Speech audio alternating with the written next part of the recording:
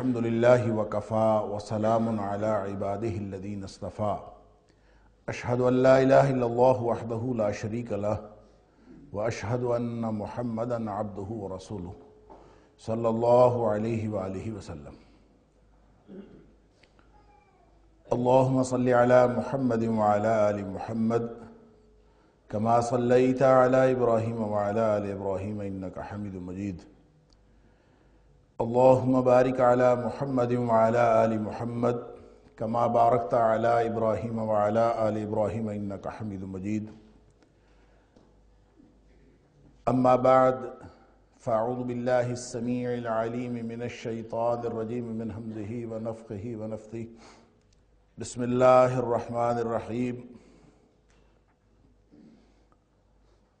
मन ज़ल्लज़ी युक़रिदुल्लाह क़र्दन हसना फ़युदाइफ़हु लहु अदआफ़न कसीरा वल्लाहु यक़बिदु व यबसुतु व इलैहि तुरजऊन कौन है जो अल्लाह को कर्ज दे? अच्छा कर्ज। फिर वो अल्लाह उसको बढ़ा चढ़ा के उसके लिए वापस करे। वल्लाह यकबिद व यबसुत अल्लाह ही रिज्क में तंगी करता है और वही उसमें फराखी करता है। वह इले ही तुरजाऊन और उसी की तरफ़ तुम लौट कर जाने वाले हो। ये आयत नंबर 245 है सुरह बकरा की, इस पर गुफ्तु गुजशत दर्स में हो चुकी। आज के दर्स में मैंने आगाज़ इसी आयत से इसलिए किया है कि हमारे जहन में वो मौजू फिर से ताज़ा हो जाए कि हम कहाँ खड़े हैं। और सूरह बकरा का ये मुकाम, जिसमें दो वाक़ात का हवाला भी दिया गया है। तो ये जहन में आ जाए और हमारी याद ताज़ा हो जाए कि बुनियादी तौर पर इन आयात में, इस, इन आयात में क्या कहा जा रहा है और इन आयात का सियाको सबाक क्या। गुजशत दर्स में मैंने अर्ज़ किया था कि जिहाद जो अपनी जान के साथ है, जिहाद बिन नफ्स, और यानी जिसको कताल कहा जाता है, और दूसरा जिहाद जो माल के साथ किया जाता है, जिहाद बिल माल, जिसको इन्फाक कहा जाता है, इन दोनों की तरगीब असल में यहाँ पे दी जा रही है। और इसको और ज़्यादा वसी तनाजुर में अगर देखें तो सूरह बकरा का जो नसफ़ आखिर है, इसमें उम्मत मुसलिमा को वो नसीहतें की जा रही हैं, वो अहकाम दिए जा रहे हैं, जिसकी बुनियाद पर एक उम्मत उम्मत बन सकती है। क्योंकि उम्मत मोहम्मदिया को, सल्लल्लाहु अलैहि वसल्लम को, अब ये ज़िम्मेदारी निभानी है जो इससे पहले बनी इसराइल के पास थी। अब इस उम्मत के पास आ गई तो उस ज़िम्मेदारी को निभाने के लिए जिन अहकाम की ज़रूरत है, वो अहकाम दिए जा रहे हैं। और उनमें सबसे आला जो दो हुक्म हैं, वो जिहाद बिल माल और जिहाद बिल नफ्स। कताल और इनफाक, उन दोनों की बात की जा रही है। लिहाजा दो, आयत नंबर दो सौ चवालीस में, वक़ातिलू फ़ी वालम अलीम, ये फरमा के कताल की तरफ़ तवज्जो दिलाई गई, और बंद लदीक़रदुल्ला करदन हसना, ये इस आयत में, आयत नंबर दो सौ छियालीस में, ये तरगीब दी गई है इन्फाक की।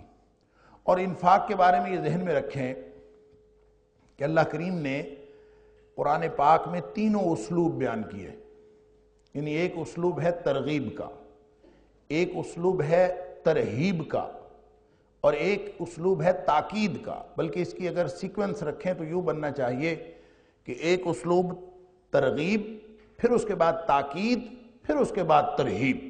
यानी पहले सिर्फ़ रगबत दिलाना है, फिर ताकीद करना है, और फिर उसके बाद उसमें डरावा देना है कि अगर तुम नहीं करोगे तो एक धमकी के अंदाज में और जैसा कि सूरत हदीद के अंदर फरमाया मालकुमला तुनफ़ूफ़ी सबील्ला तुम्हें क्या हो गया है कि तुम अल्लाह के रस्ते में खर्च नहीं करते? तो गोया ये तरगीब से लेकर तरहीब तक ये तीनों उसलूब अल्लाह करीम ने कुरान पाक में जा बजा इरशाद फरमाए हैं। गोया उम्मत मोहम्मदिया की तश्कील और अल्लाह के निज़ाम की तनफीज़ की बुनियाद कताल है और इन इन्फाक फ़ी सबील्ला इन दोनों को अगर मलहूज रखा जाएगा और कौमें अपने किरदार में शामिल करेंगी तो फिर अल्लाह ताला उनको गलबा अता फरमाएगा। और बतौर मिसाल दो वाक़ात बयान किए, जो एक पिछले आयत नंबर 243 में हो गया और एक वाक़ जो है वो आयत नंबर 246 के अंदर बयान फरमाया गया है। और ये तरगीब इतनी मौसर थी। नबी अकरम सल्लल्लाहु अलैहि वसल्लम जब तरगीब फरमाते थे जिहाद की और इन्फाक की तो इतनी मौसर थी कि सहाबा कराम सिर्फ़ ये बात सुनकर कि दल्लदीक़रदुल्ला करदन हसाना, क्योंकि परसेप्शन चेंज की जा रही है, तनाजुर और तस्वुर तब्दील किया जा रहा है कि तुम अगर जिहाद में जाने के लिए और अपने आप को लड़ाई में, लड़ाई के लिए तैयार करो तो जहन में तस्वुर ये होना चाहिए कि लड़ाई का मतलब मरना नहीं है और लड़ाई का मतलब मौत नहीं है। बल्कि मौत तो आनी ही है, चाहे आप लड़ाई में जाओ, चाहे ना जाओ तो परसेप्शन लड़ाई के बारे में यह क्लियर होना चाहिए कि अपनी जान को अल्लाह के गलबे के लिए लगा देना यह किताल है यह जिहाद। और अगर आप लगा देते हो तो फिर अल्लाह से अजर की तो रखो। एक जान है जो अल्लाह के स्पुर्द इंसान कर दे तो इससे बड़ा कोई और कारनामा हो नहीं सकता कि कोई शख्स अल्लाह के दीन के गलबे के लिए अपनी जान कुर्बान करने के पर तैयार हो जाए। और ये तैयार हो नहीं सकता जब तक वो मौत और ज़िंदगी के बारे में अपने तस्वुरात वाजे ना करे। जिसको मौत से डर लगता है, वो कैसे जाएगा? और जिसके, जिसको यकीन है कि मेरी मौत तो किसी भी वक्त आ सकती है, वो जाएगा जिहाद में। उसको मालूम है कि जिहाद में जाए या ना जाए, मौत तो उसको आ जानी है, और जब नहीं आनी तो चाहे वो तलवारों के दरमियान में फिरता रहे, उसको मौत नहीं आनी। जैसा कि हज़रत खालिद बिन वलीद रज़ी अल्लाह तु को मौत बिस्तर पर आई, सारी ज़िंदगी मैदान जंग में गुजरी। इसी तरह ये परसेप्शन है माल के बारे में। कि माल भी, जान भी अगरचे दोनों अल्लाह के दिए हुए हैं, लेकिन उसका कर्म है कि वो अपने राह में, अपने ही दिए हुए माल को, अपनी राह में खर्च करने को, अपने ज़िम्मे कर्ज करार देता। है और फिर ये एक तरगीब का एक ऐसा अंदाज है कि जब भी कोई शख्स अल्लाह के रास्ते में खर्च करे, उसको यकीन होना चाहिए कि मैं जो कुछ खर्च कर रहा हूँ, ये मैं नफ़े का सौदा कर रहा हूँ। क्योंकि मैं अल्लाह को दे रहा हूँ, ये मुझे वापस मिलेगा और वापस उतना ही नहीं मिलना अल्लाह ताला फरमाता है फ़युदाए फ़लहू अब आफन कसीरा उसको बढ़ा चढ़ा के वापस मिलेगा, और जिसके दिल में ये यकीन हो, फिर वो खर्च करता है। नबी अकरम सल्लल्लाहु अलैहि वसल्लम ने इसकी वजाहत यूँ फरमाई कि जैसे कोई शख्स सदका करता है तो बाहिर तो जेब में से पैसे जा रहे बाहिर तो कम होते हुए दिखाई देते हैं, लेकिन हकीकत में वो कम नहीं हो रहे होते। तुम्हें निगाह तुम्हारी ये देख रही हो, कैलकुलेशन तुम्हारी ये बता रही हो कि तुम्हारे पैसे कम हो रहे हैं। तुम्हारा तस्वुर तुम्हारा ईमान, तुम्हारा यकीन इस कदर कामिल होना चाहिए कि फमाया मा नाकसत मिन सदाकतिन मिन माल के मा नाकसत सदाकतुन मिन माल माल में से सदका किसी चीज़ की कमी नहीं करता। यानी ये सवाल ही पैदा नहीं होता कि जब आप अल्लाह के रस्ते में दे रहे हो और माल कम हो रहा हो, माल हकीकत में बढ़ रहा होता है। आदमी समझता है कि कम हो रहा है। बज़ाहिर सौ रुपए जेब में थे, आपने उसमें से नब्बे रुपए दे दिए तो बज़ाहिर तो ये ऐसे ही लगा कि दस रुपए कम हो गए। लेकिन नबी करीम सल्लल्लाहु अलैहि वसल्लम गारंटी दे रहे कि ये नहीं हो सकता। ये इंसान के परसेप्शन, तस्वुरात चेंज किए। इसी तरह कोई शख्स अगर झुक जाता है तो नबी अकरम सल्लल्लाहु अलैहि वसल्लम ने फरमाया, इस हदीस में तीन चीज़ें आपने बयान फरमाई। आपने फरमाया कि जो भी शख्स अल्लाह के लिए झुकता है, अल्लाह ताला उसको बुलंदियाँ अता करता है। मा तवाजा अहदुल्लाह जो अल्लाह के लिए झुकता है, अपने आप को छोटा बना लेता है, नक्कू बन जाता है, सिर्फ़ इसलिए कि मेरा अल्लाह राज़ी हो जाए। फरमाया, इल्ला रफा अल्लाह उसको यकीनन बुलंदियाँ अता फरमाते। और इसी तरह नबी अकरम सल्लल्लाहु अलैहि वसल्लम ने फरमाया कि जो शख्स माफ़ कर देता बदला लेने की ताकत है, लेकिन वो माफ़ कर देता है। माजादन बेअफविन इज्जा। अल्लाह ताला किसी बंदे को जब वो माफ़ करता है तो हमारी परसेप्शन ये है कि हम माफ़ कर देंगे तो हमारी नाक कट जाएगी, हमारी इज़्ज़त नहीं रहेगी। नबी अकरम सल्लल्लाहु अलैहि वसल्लम ने गारंटी दी कि अगर तुम किसी को माफ़ कर दोगे तो एक ही चीज़ में इजाफा होता है और वो इज़्ज़त है। माजाद अल्लाह अब्दन बिन इज्जा। सिवाय इज़्ज़त के और किसी चीज़ में इजाफा नहीं होता तो असल में अल्लाह करीम हमारा ये तस्वुर ज़िंदगी के बारे में, ज़िंदगी मौत के बारे में और माल जायदाद के बारे में, हर चीज़ के बारे में अल्लाह ताला हमारा तस्वुर और ये देखें, आगे बात गुफ्तगु का सिलसिला आगे बढ़ेगा तो चूँकि मिसाल बनी इसराइल की दी जा रही है तो बनी इसराइल के अंदर भी तस्वुरात गलत थे। हर दौर में ये जो दो बुत है ना, दो बुत है एक खानदान का, अपने जाति नस्ब और हसब का, और दूसरा माल का। ये हर दौर में पूजे जाते रहे हैं। इंसान अपनी ज़िंदगी बचाने के लिए और अपना माल बचाने के लिए सब कुछ दाव पे लगा देता है। और दुनिया में इज़्ज़त भी उसको मिलती है, जिसका ख़ानदान अच्छा हो और जिसका, जिसके पास दौलत की रेल पेल हो।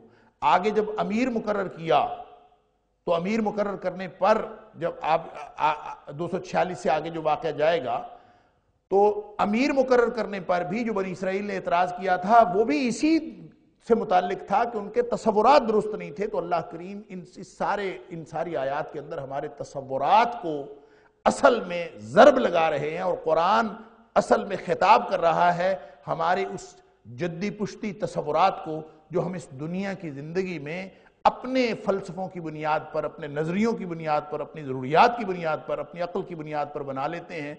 अल्लाह करीम फरमाता है, माल भी अल्लाह का दिया हुआ, जान भी अल्लाह की दी हुई। जब तक ये दोनों चीज़ें तुम अल्लाह के रस्ते में कुर्बान करने पर तैयार नहीं होगे, दुनिया और आखरत की कामयाबी मुमकिन नहीं। लिहाजा फरमाया, अलम तोरा बनी इसराइल। क्या तुमने देखा नहीं? इलल बनी इसराइल। बनी इसराइल के जो सरदार थे, मालाई, असल में मालाऊ, अल मालाऊ। वैसे तो माला यमलाऊ का मतलब होता है भर देना, किसी चीज़ को भर देना। लेकिन अरबी में ये बहुत आम तौर पर ये मुस्तामल है मालाऊ का लफ्ज़। और इसका मतलब होता है वो सरदारान कौम, यानी सबका अदवार में जब बादशाहतें होती थीं तो जो बादशाहों के दरबारी होते थे, आम तौर पर यह लफ्ज़ उनके ऊपर बोला जाता था। सरदारान कौम, रूसा या शुरफा। तो वो उनकी जो मजलिस है, पूरी की पूरी मजलिस, उसके ऊपर ये लफ्ज़ बोला जाता है कि वो सारे सरदारान, चूँकि पूरी कौम के ज़िम्मेदार वो होते हैं और उनके बारे में गौर फ़िक्र करना भी उन्हीं के ज़िम्मे होता है तो मुफसरीन ने इस लफ्ज़ के जो मुरादी मफहूम है, उसका इसके लघवी मफहूम के साथ ये ताल्लुक बताया है और ये ताल्लुक जोड़ा है कि चूँकि इस मजलिस को देखकर और रऊसा को देखकर और शरफा को देखकर और सरदारान कौम को देखकर निगाहें जो हैं वो इत्मीनान और रोब से भर जाती। लोगों का ख्याल ये होता है कि ये हमारे जिम्मेदारान हैं। और उनकी तरफ़ से आम लोगों के जहन में रोब भी आता है। आँखें और दिल वो भर जाते हैं, इसलिए उनके लिए लफ्ज़ इस्तेमाल होना शुरू हो गया। और ये मुस्तामल था चूँकि अरब में, लिहाजा कुरान ने भी इसको इस्तेमाल किया। अलम तौरा बनी इसराइल। देखिए, मलाउला का लफ्ज़ भी कुरान में इस्तेमाल हुआ है। और वो बड़े बड़े जो आ, जो फरिश्ते हैं जलील कदर फरिश्ते उनके लिए भी है। तो गोया जो अल्लाह के अर्श के इर्द गिर्द हैं उनको भी उनको मलाय आला कहा गया वो वो आला फरिश्ते। तो ये एक गोया मजलिस है अल्लाह ताला की। तो इसी तरह अगर दुनिया में बनी इसराइल की मजलिस थी किसी भी माशरे की जो सरदारान कौम लिहाजा इसका बेहतरीन माना ये है बेहतरीन तर्जमा है सरदारान कौम। तो अलम तरा बनी इसराइल क्या तूने बनी इसराइल के सरदारों की तरफ़ नहीं देखा? और ये जो अलम तारा है, मैं पहले भी अर्ज़ कर चुका हूँ गुजशत दर्स में कि इसके बारे में ये बाहिर तो इसका माना है देखना। अलम तौरा, क्या तूने देखा नहीं? तो जब इसके साथ इला का लाहका आ जाता है, और इमाम रागब इसफहानी ने अलमुफरदात के अंदर इसकी वजाहत की है कि जब इसके साथ इला आ जाए तो इसका मतलब गौर फ़िक्र करना होता है, इसका मतलब तखयल करना होता है, इसका मतलब इबरत पकड़ना होता है, इसका मतलब ज़ाहरी तौर पर देखना नहीं होता। लिहाजा अगर कोई शख्स ये सोचना शुरू कर दे कि मैंने तो नहीं देखा, कुरान कहता है तूने देखा तो असल में इसका मतलब होता है गौर फ़िक्र करना। अलम तौरा मल बनी इसराइल, क्या तूने बनी इसराइल के सरदारों पर गौर, उनके किरदार पर गौर किया? मिम्बादी मूसा मूसा सलाम के बाद। Id कालू, जब उन्होंने कहा मलिका, जो उनके नबी थे, उनको कहा, हमारे लिए मबूस कर दीजिए मुकर्र कर दीजिए। हमारे लिए मालिकन एक बादशाह मुकर्र कर दीजिए। नुकातिल फ़ी सबील्लाह जब वो बादशाह मुकर्र हो जाएगा तो फिर हम उसकी सरकर्दगी में, अल्लाह के रस्ते में, कताल करेंगे। नुकातिल फ़ी सबी अल्लाह के रस्ते में कताल करेंगे।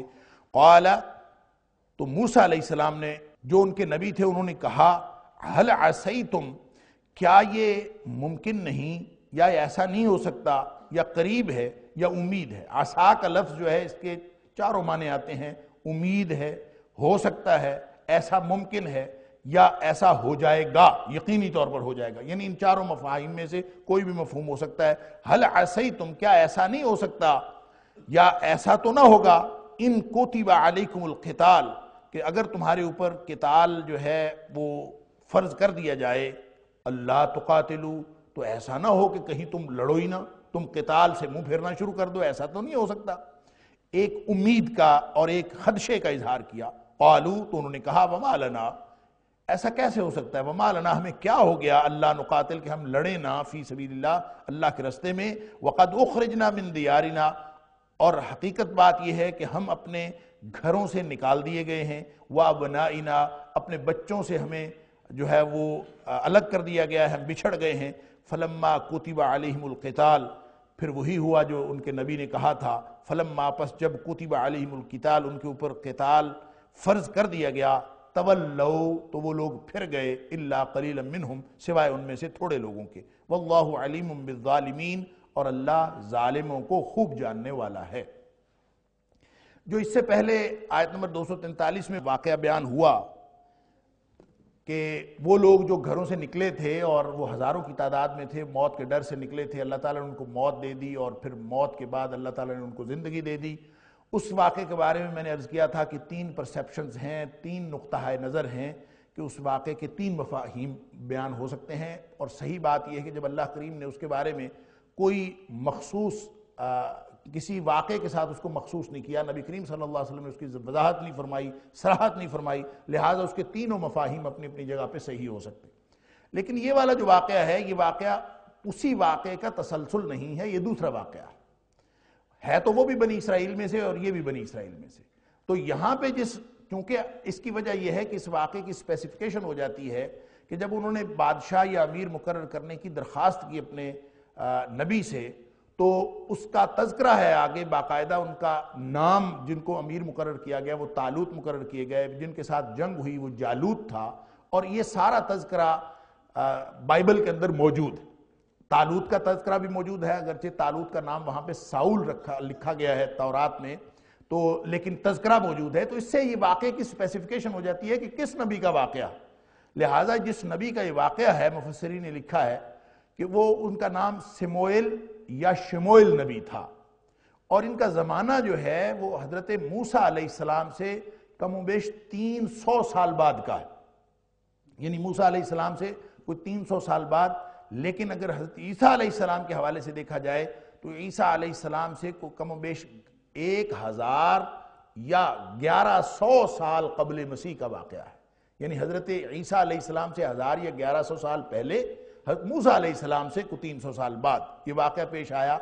जब बनी इसराइल के हालात बड़े ख़राब हो चुके थे, उनकी अपनी ज़ाती इनफरादी तौर पर भी और इज्तमाही तौर पर पूरी कौम की बदआमालियाँ उनके ऊपर गालिब आ चुकी थीं और उसी वजह से जो इर्द गिर्द की अकवाम थी ख़ास तौर पर आलम अमालिका वैसे तो और भी अकवाम थी ख़ास तौर पर अमालिका जो उस वक्त फ़लस्तीन पर काबिज थे उन्होंने इनको वहाँ से निकाल भी दिया था और इनके ऊपर वक्ता फ़वक्ता हमलावर होते रहते थे और इर्द गिर्द के दीगर कबाइल भी इनके ऊपर हमलावर होते रहते थे और इनके पास अगर कोई आ, सालों तक मूसा सलाम से लेकर यानी कहा जा सकता है कि तीन सदियों तक इनके लिए अगर कोई वजह थी जिस, या कोई सहारा था जिसकी बुनियाद पर ये लोग हिम्मत बांधते थे और लड़ते थे और अपने इर्द गिर्द के अकवाम के खिलाफ जिहाद करते, कताल करते और उससे कामयाबी हासिल कर सकते थे, वो ताबूत सकीनत था। वो इनके पास एक ताबूत सकीनत था, एक संदूक था, जिसके अंदर तबरक़ात पड़े हुए थे। उनको ये, उसका ज़िक्र भी आगे आएगा, उसको ये जब तक इन्होंने हैकले सुलेमानी तामीर नहीं हुआ हज़रत सुलेमान सलाम की, यानी जब तक किबला ताबीर तामीर नहीं हुआ, हज़रत मूसा सलाम से लेकर बल्कि यूँ कहना चाहिए कि बनी इसराइल जब निकले हैं मिस्र से मिस्र से निकलने के बाद हैकले सुलेमानी की तामीर तक इनका किबला जो था वो संदूक था। और वही संदूक जिसको ताबूत सकीनत कुरान ने कहा है, आगे ज़िक्र आएगा, उस पर दोबारा मैं अर्ज़ करूँगा। तो ये ताबूत सकीनत जो इनके लिए सुकून का बायस भी था इतमान का बायस भी था, बरकत का बायस भी था, उसी को ये किबला बनाते थे, उसी का एहतराम करते थे, वो भी छिन गया था, उसी को बायस बरकत समझते थे। वो भी छिन गया, हालात इतने दिगरगू हो गए कि अब तो इनको कोई रास्ता नज़र नहीं आता था कि ये कभी कामयाब होंगे। इस पर फिर इन्होंने सोचा कि ऐसा ही करते हैं कि चूँकि तारीख तो मौजूद थी और तारीख में कौमें जब गिरी पड़ी होती हैं तो वो उठती हैं अंबिया की क्यादत में, तारीख बताती है कि जब भी कोई कौम, यानी कुरान का फलसफा तारीख क्या है? कुरान का फलसफा तारीख ये है, जब कुरान वाकयात बयान करता है, जब कुरान इस उम्मत को अहकाम देता है तो एक फलसफा तारीख बयान होता है और वो ये है कि जब कोई कौम जवाल की इंतहाओं को छूती है तो दो में से एक नतीजा निकलना यकीनी होता है। एक नतीजा तो यह है कि अल्लाह ताला उस कौम को तबाह बर्बाद कर देता है और उसकी जगह अल्लाह ताला नई कौम ले आता है। या फिर दूसरा नतीजा यह निकलता है कि उस कौम की वापसी हो जाती है। तो वापसी हो या तबाही हो, होती ये दहाइयाँ लगती हैं, एक दिन में नहीं होती। यानी कोई कौम एक दिन में तबाह नहीं होती, कोई कौम एक दिन में वापस नहीं आती, वापस आना हो तो इसमें भी डिकेड्स दहाइयाँ लग जाती हैं और तबाह बर्बाद होना हो तो ये अल्लाह के अहकाम हैं। अल्लाह की हमतें हैं वो कितनी देर में आ, हमारे गिनती और है अल्लाह की गिनती और है। अल्लाह के यहाँ फ़ौरन भी फैसला हो तो हो सकता है कि हमारे यहाँ चालीस साल या पचास साल गुजर जाएँ। अल्लाह की गिनती हमारी गिनती के मुकाबले में हमारे एक हज़ार साल हों तो अल्लाह के यहाँ एक दिन होता है कुरान के मुताबिक। लिहाजा अल्लाह की गिनती और है हमारी गिनती और। फलसफा तारीख यही। अब इस कौम ने अगर वापस आना था तो इनको मालूम था कि हमने वापस आना है तो हमें नबी की क्यादत की ज़रूरत है। और नबी की क्यादत के बगैर हम वापस नहीं जा सकते। कौमों की जब वापसी होती है तो वो अंबिया अल्लाह ताला उसमें मबूस कर देता है तो कौमें वापस होती। यानी कुन तुम आला शफा हफरत मिनन्नार फन कदकुम मिनहा। तुम आग के गड़े के किनारे पहुँच चुके थे, अल्लाह ताला ने तुम्हें बचा लिया। और वो क्या वाक़ हुआ था कि नबी अकरम सल्लल्लाहु अलैहि वसल्लम को अल्लाह ताला ने मबूस फरमा दिया। तो हर कौम में अल्लाह ताला नबी मबूस कर देता है। तो नबूत क्या करती है? नबूत आके तरबियत का काम करती है। नबी आके उस मुआशरे को उठाता है।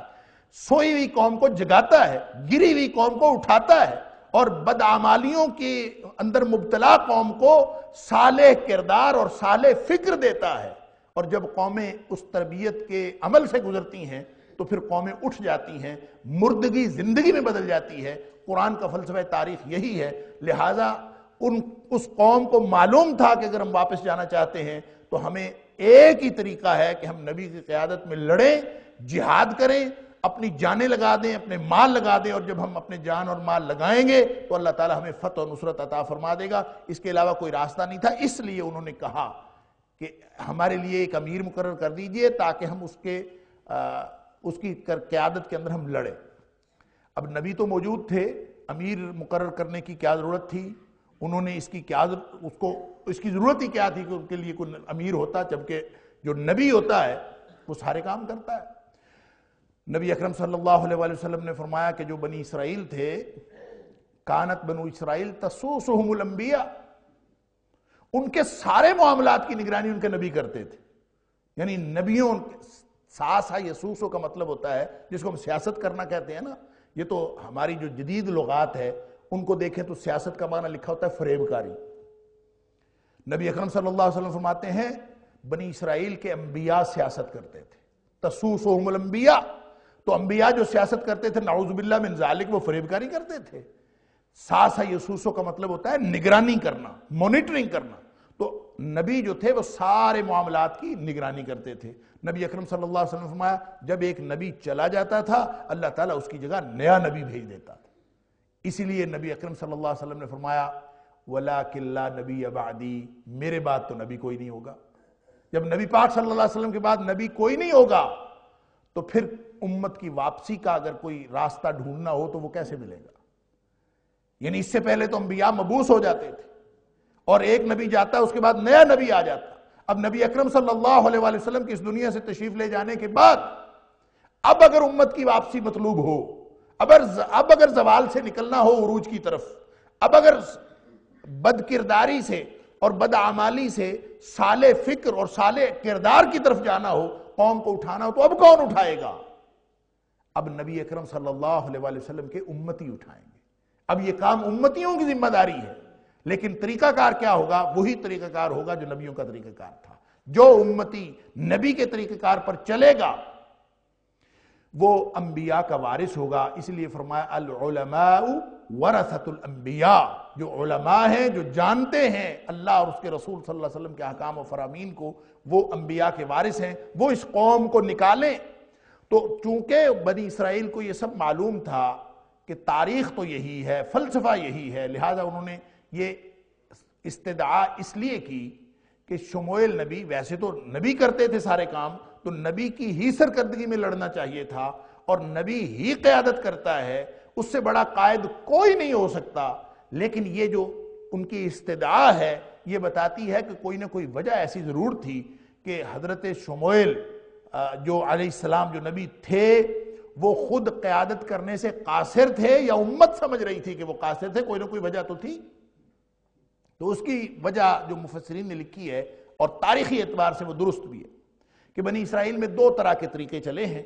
एक तो अक्सर ये होता था कि वो नबी जो मबूस होता था, वही उनके इंतज़ामी उमूर की निगरानी भी करता था, वही फौज का सिपा सलार भी होता था। सारे काम वही नबी करता था, जैसे नबी अक्रम सल्लल्लाहु ने भी किया।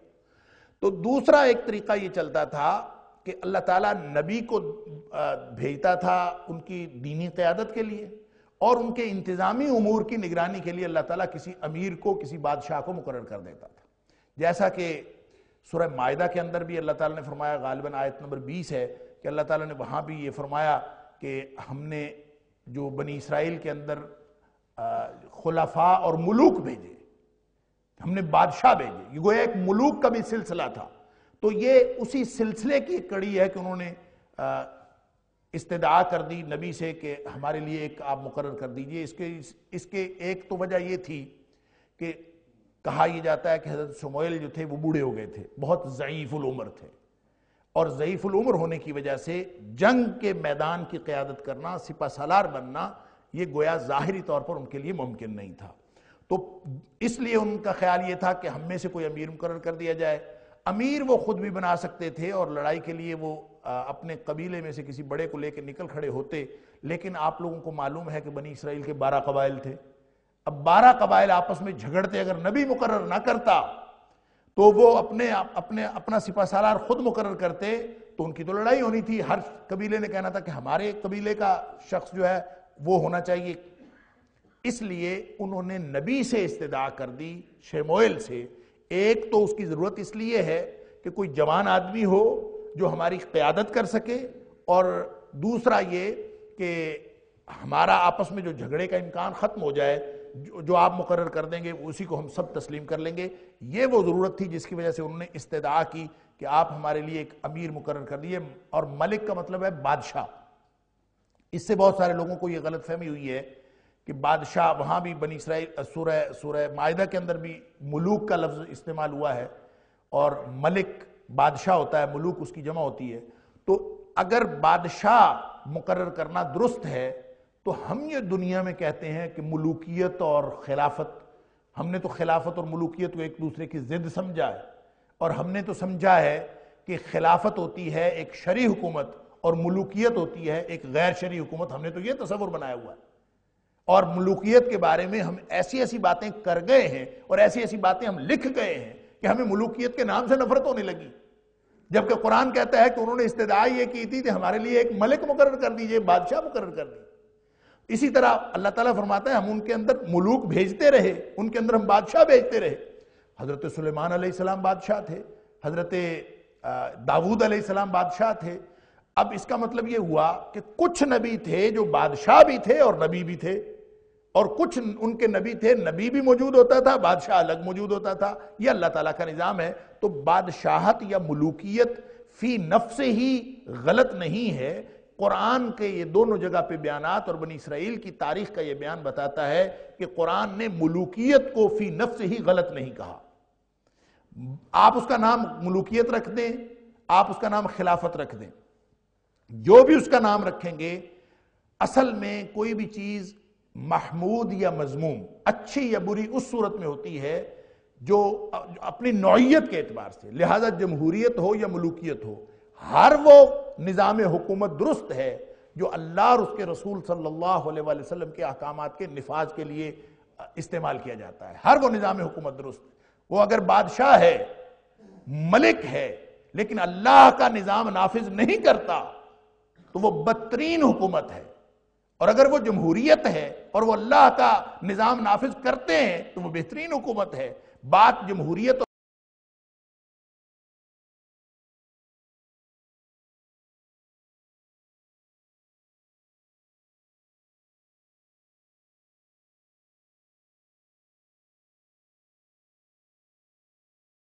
तो मुलूकियत की नहीं है। बात अल्लाह के अकाम के निफाज की है, अल्लाह के हदूद की निफाज की है, वो इस सिस्टम को, हम किसी भी सिस्टम को गलत या सही नहीं कह सकते। निज़ाम वो सही होगा जो अल्लाह के रसूल सल्लल्लाहु अलैहि वसल्लम की लाई हुई हिदायत के मुताबिक चले। अब अगर नबी करीम सल्लल्लाहु अलैहि वसल्लम नहीं, या पिछले दौर के नबिया, अब ये साफ़ बता रहा है, कुरान का सयाक सबाक, और ये इन आयात का सियाक सबाक साफ़ ये बता रहा है कि जिस मलिक को, जिस बादशाह के तकर्र की दरखास्त की जा रही उस बादशाह को मुकर किसने करना है? नबी ने। तो नबी जब मुकर करेगा तो वो बादशाह, मुतलकुल अनान बादशाह नहीं होगा, बल्कि वो नबी के मातहत होगा। जब वो नबी के मातहत होगा तो इसका मतलब ये हुआ कि दुनिया का कोई हुक्मरान, चाहे वो अपने आप को बादशाह कहलाए, चाहे वो अपने आप को डिक्टेटर कहलाए, चाहे वो अपने आप को जमहूरी वज़ीर आज़म कहलाए, चाहे वो अपने आप को सदर कहलाए, अगर वो मुसलमान है तो उसको नबी की लाई हुई तालीमत के मातहत रहना होगा। अगर वो मातहत रहता है तो वो दुरुस्त और शरी निज़ाम हुकूमत होगा। अगर वो उसके मातहत नहीं रहता तो वो शरी निज़ाम हुकूमत नहीं होगा। ये सादा सा फार्मूला है जो कुरान ने हमें बता दिया। लिहाजा, नबी चूँकि नब्बाज होता है, और उनको मालूम होता है कि मुआशरा जो है, वो किस डगर पे चल रहा है तो उनकी जो फ़िक्र और अमल की जो नौयत थी उसको खूब समझते थे हज़रत सुमोल। लिहाजा पहले ही खदशे का इजहार कर दिया कि तुम कह तो रहे हो कि एक अमीर मुकर हो जाए और हम लड़ना चाहते हैं, लेकिन ऐसा ना हो कि लड़ाई और कताल तुम्हारे ऊपर फ़र्ज़ हो जाए और फिर तुम लड़ने से जी चुराओ। क्योंकि बनी इसराइल की पूरी तारीख थी और नबी जानते थे और जिस खदशे का इजहार किया बाद में वही हुआ, लेकिन उस वक्त उन्होंने खूब आगे से जो दलील दी, थी भी बड़ी शानदार। कि अपने अपने वतन से हम निकाले गए। अपने वतन में हम नहीं है। बेघर हम हुए पड़े हैं और जगह जगह मारे मारे फिरते हैं और जहाँ हम हैं, वहाँ भी हमें चैन से नहीं बैठने दिया जाता और इर्द गिर्द की अकवाम हमारे ऊपर हमलावर हो रही हैं। हमारे पास रहने को कोई जगह नहीं, फिर हमारे बच्चे हमसे छीन लिए गए हैं। हम इस कदर कस्म पुरसी की हालत में हैं कि अब हमारे पास रास्ता ही कोई नहीं सिवाय लड़ने के। लिहाजा जब आप हुक्म फरमाएँगे तो हम लड़ेंगे। हमारे पास हम क्यों नहीं लड़ेंगे? वमालना अल्लाह नुकातिल। फ़ी सबील हमें है क्या? हम क्यों नहीं लड़ेंगे? हम लड़ेंगे। हालात जो भी हों, अब हम लड़ेंगे। लेकिन वही हुआ, फलम्मा कुतिबा अलीमकिताल जब उनके ऊपर कताल फ़र्ज़ हुआ, तवल्ला कलीलमिन तो उनमें से फिर हर एक को बहाने बहुत। अल्लाह अकबर। जिहाद करना कोई आसान काम है? कि जब आ जाए, जब हुक्म आ जाए तो फिर उस वक्त असल में इंसान को बहाने ढूँढने को मिलते हैं। कभी वो अपनी तबीयत का बहाना बनाता है, कभी वो माहौल का बहाना बनाता है, कभी वो शरी बहाने ढूंढता है, कभी वो अमली बहाने ढूंढता है, कभी ग्राउंड रियलिटीज़ को बहाना बनाता है, उन्होंने भी बना लिए। वल्लामीन अल्लाह ताला फरमाता है, अल्लाह ताला जालिमों से खूब वाकिफ है। गोया जालिम कौन है? जो हकदार को हक नहीं देते। वज़न फ़ी गैर मौद और हर वो शख्स जो अल्लाह का हुक्म आ जाने के बाद नहीं मानता, सबसे बड़ा जालिम वो है। वह मल्लम यहकुम बिमान सूरह मायदा के अंदर फरमाया, जालिम वही हैं कि अल्लाह का हुक्म आ जाने के बाद फिर वो उसके मुताबिक फैसले नहीं करते। वक़ाल नबी अब उन्होंने चूँकि कह दिया था तो नबी ने उनको, हज़रत मोयल ने उनको ये खबर दी कि इन अल्लाह बेशक अल्लाह ताला ने कद बासलकुम तालूत मलिका। अल्लाह ताला ने तालूत को तुम्हारा बादशाह बना दिया बादशाह बना दिया, या अमीर बना दिया, जो भी आप नाम रख लें लफ्जी माना तो मलिका बादशाह। कालू तो आगे से वो कहने लगे, वो, वही हुए बदरा बहाना बसियार। फ़ौरन वही बहाने। पूरी बनी इसराइल की तारीख है। यानी खुद कह रहे हैं कि हमारे ऊपर अमीर मुकर हो जाए लड़ेंगे, करेंगे, सब कुछ करेंगे। लेकिन अब बहाना मिल गया, तालूत बादशाह बन गया। तो बहाना क्या बनाते हैं? कालू, उन्होंने कहा, अन्ना यकून लहुल मुल्क अलैना। अल्लाह अकबर। कैसे उसकी बादशाहत हमारे ऊपर हो सकती है? वो कैसे बादशाह हो सकता है? वह नहनु अहक बिल मुल्क मिन हो जबकि हम बादशाहत के ज़्यादा हकदार हैं। वलम यू तसातम मिनल माल। और उसको माल की फराखी भी नहीं दी गई, माल के अंदर कुशादगी भी नहीं दी गई, गोया वो माली तौर पर मुस्तकम भी नहीं है। अब ये एक एतराज़ था उनका। हम पूरी आयत का तर्जमा कर लेते हैं, फिर उसके बाद इसकी देखते हैं क्या है। कौल इन्फ़ाहू तो समोइल अलैहिस्सलाम ने कहा इन अल्लाहफ़ाहू बेशक अल्लाह ने उसको चुना है आलिकुम तुम्हारे ऊपर। वज़ादहू बस्तन फ़िल्म वल जिस्म। और अल्लाह ताला ने उसको बहुत नवाजा है, कुशादगी दी है, फिल इल्म इल्म में, वल जिस्म और जिस्म वल्लाती मुल्कहू मैशाऊ और वैसे भी अल्लाह जिसको चाहता है बादशाह अता करता है, ये उसका प्रोडागटिव है। वल्लाहु वासिउन अलीम, और अल्लाह ताला बहुत वसत करने वाला और खूब जानने वाला।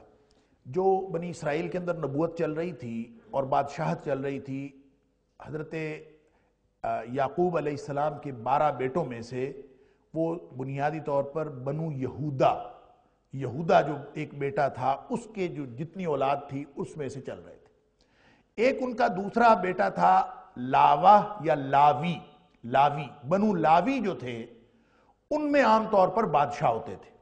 यानी ये दोनों कबीले, बनु लावी और बनु यहूदा, बादशाहत हो या नबूत हो, वो बिलूम इन दोनों खानदानों में रही।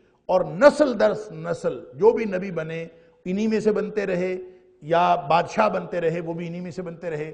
और नतीजा उसका ये निकला कि ये अपने आप को खानदानी तौर पर बाकी सबसे बुलंद समझने लगे। जैसा कि आमतौर पर होता है, इंसान जो है वो ऐसे फ़ख्र और गुरूर में मुबतला हो जाता है कि गोया ये कि हमारा ये ज़ाती इस्तेकाक है, जैसे कि हर दौर के ख़ानदान ये करते हैं। जिस ख़ानदान को भी हुकूमत मिलती है, वो ख़ानदान उसको अपना इस्तेकाक समझना शुरू कर देता है। अता करने वाला अल्लाह है, देने वाला अल्लाह है, और अल्लाह ताला किसी को दे देता है, फिर वो नस्ल दर नस्ल उसको चलाने की कोशिश करते हैं। इसलिए उन्होंने ये एतराज़ किया, जबकि तालूत जो थे, खुद, जिनका नाम तौरात में साउल आया, और बाद मुफसरीन ने यह भी सराहत की है कि तालूत उनका नाम था ही नहीं। उनका नाम असल में साउल ही था। तालूत उनका लकब था, और लकब इसलिए था कि ये तूलूत से है और तवालत से। यानी इसका इसका जो मादा है वो तवालत है। चूँकि अल्लाह ताला ने उसको जिस्मानी तौर पर एक बहुत मज़बूत और तनुमंद किस्म की शख्सियत दी थी और वो कद के एतबार से भी सबसे लंबे तड़ंगे थे और जब वो एक हजूम में खड़े होते थे तो वो सबसे बुलंद नज़र आते थे। इसलिए उनका नाम जो है वो उनके कद की वजह से और लंबा तड़ंगा होने की वजह से उनका नाम तालूत पड़ गया और उनका लकब। लिहाजा नाम साउल था और लकब तालूत पड़ गया और कुरान ने उनके उसी मशहूर नाम से, यानी उनके लकब से उनको याद किया है कि तालूत को बादशाह बना दिया। अब ये बिल्कुल आम से आदमी थे और बनी इसराइल में से जो सबसे अदना कबीला समझा जाता था, माशरती तौर पर। और समाजी तौर पर जिसको बिल्कुल एक निगलेक्टेड क्लास समझा जाता था उसके थे। यानी ये बिनियमीन की जो औलाद थी उसमें से थे, जो सबसे छोटे बेटे हज़रत याकूब अलैहिस्सलाम के, ये उनकी औलाद में से थे। अब जब इन्होंने, और वैसे भी तौरात ने तो लिखा है कि जिस वक्त ये हज़रत सैमोल अलैहिस्सलाम के सामने आए ना तो हज़रत सुमेल ने अभी तक नबी मुकर नहीं किया था, अब अमीर मुकर नहीं किया था, बादशाह मुकर नहीं किया था तो अल्लाह ताला ने तो वही के ज़रिए से उनको बता दिया होगा कि फ़लाँ को मुकर करना है। तो हज़रत तालूत जो थे कहीं और रहते थे, ये वहाँ पे मौजूद भी नहीं थे। तो ये इनके गधे चराते थे। इनको इन्होंने गधे रखे हुए थे, बिल्कुल अदना से आम से आदमी थे। तो जब ये अपने गुमशुदा गधों को तलाश करने के लिए ये उन, इनका गुजर हज़रत सुमेल के घर के आगे से हुआ। जब ये वहाँ से गुजरे तो उन्होंने देखा और देख के उन्होंने कहा कि यही वो शख्स है जिसको अल्लाह ने अमीर मुकर किया। अब वो बिल्कुल आम आदमी थे, उनको भी नहीं पता था कि मैं कोई अमीर बनने जा रहा हूँ। और उनको खुद भी ये अंदाज़ा नहीं था कि मैं बन जाऊँगा और ना ही हज़रत सुमेल को, जब अल्लाह ताला की तरफ़ से मुकर हो गए तो मुकर हो गए। अब ये खतरा ये पैदा हो गया कि कोई उसको कबूल नहीं करेगा अब अदना आदमी मुआशरे में से कोई भी हो तो उसको कोई कबूल नहीं करता, उसकी समाजी हैसियत होनी चाहिए। और समाजी हैसियत क्या होनी चाहिए? पूरी तारीख के अंदर जो मैंने अर्ज़ किया, दो बुत हैं, जिसको इंसानियत पूरी तारीख में पूजती आई है। एक बुत है खानदान का, नस्ल का, और दूसरा बुत है दौलत का। लिहाजा इन दोनों बुतों को इनकी पूजा अगर कभी खत्म हुई है तारीख में तो सिर्फ़ तब खत्म हुई है जब नबवी तालीमत जो हैं वो इंप्लीमेंट हुई है मुआरे के अंदर। लिहाजा ये कुछ अरसा के लिए, आप देखें ना, आप देखते हैं कि नबी अकरम सल्लल्लाहु अलैहि वसल्लम जब तशरीफ़ लाए तो जाहिली हमीयत, जाहिली मुआशरे में वो कबायली जो रकाबत थी, वो उरूज पर थी। नबी अकरम सल्लल्लाहु अलैहि वसल्लम ने सारी जो जाहिलियत की बातें हैं, सारे, सारी बातें ख़त्म कर दी। कुरान कहता है वजालनाकुम शरूब मकबाइल तारफ़ ये तारफ़ के लिए आप कह सकते हैं, ये बनू फलां है, ये बनू फलां है, ये फलां का बेटा है, ये फलां का बेटा है, फलां नाम रखा है। ये सारे तारुफ के लिए हैं, पहचान के लिए हैं। इन तकाकुम जो अल्लाह के नज़दीक इज़्ज़त वाला है, वो असल में तकवे वाला जो सबसे ज़्यादा तकवे वाला है, वो सबसे ज़्यादा इज़्ज़त वाला तो नस्ल की कोई अहमियत नहीं।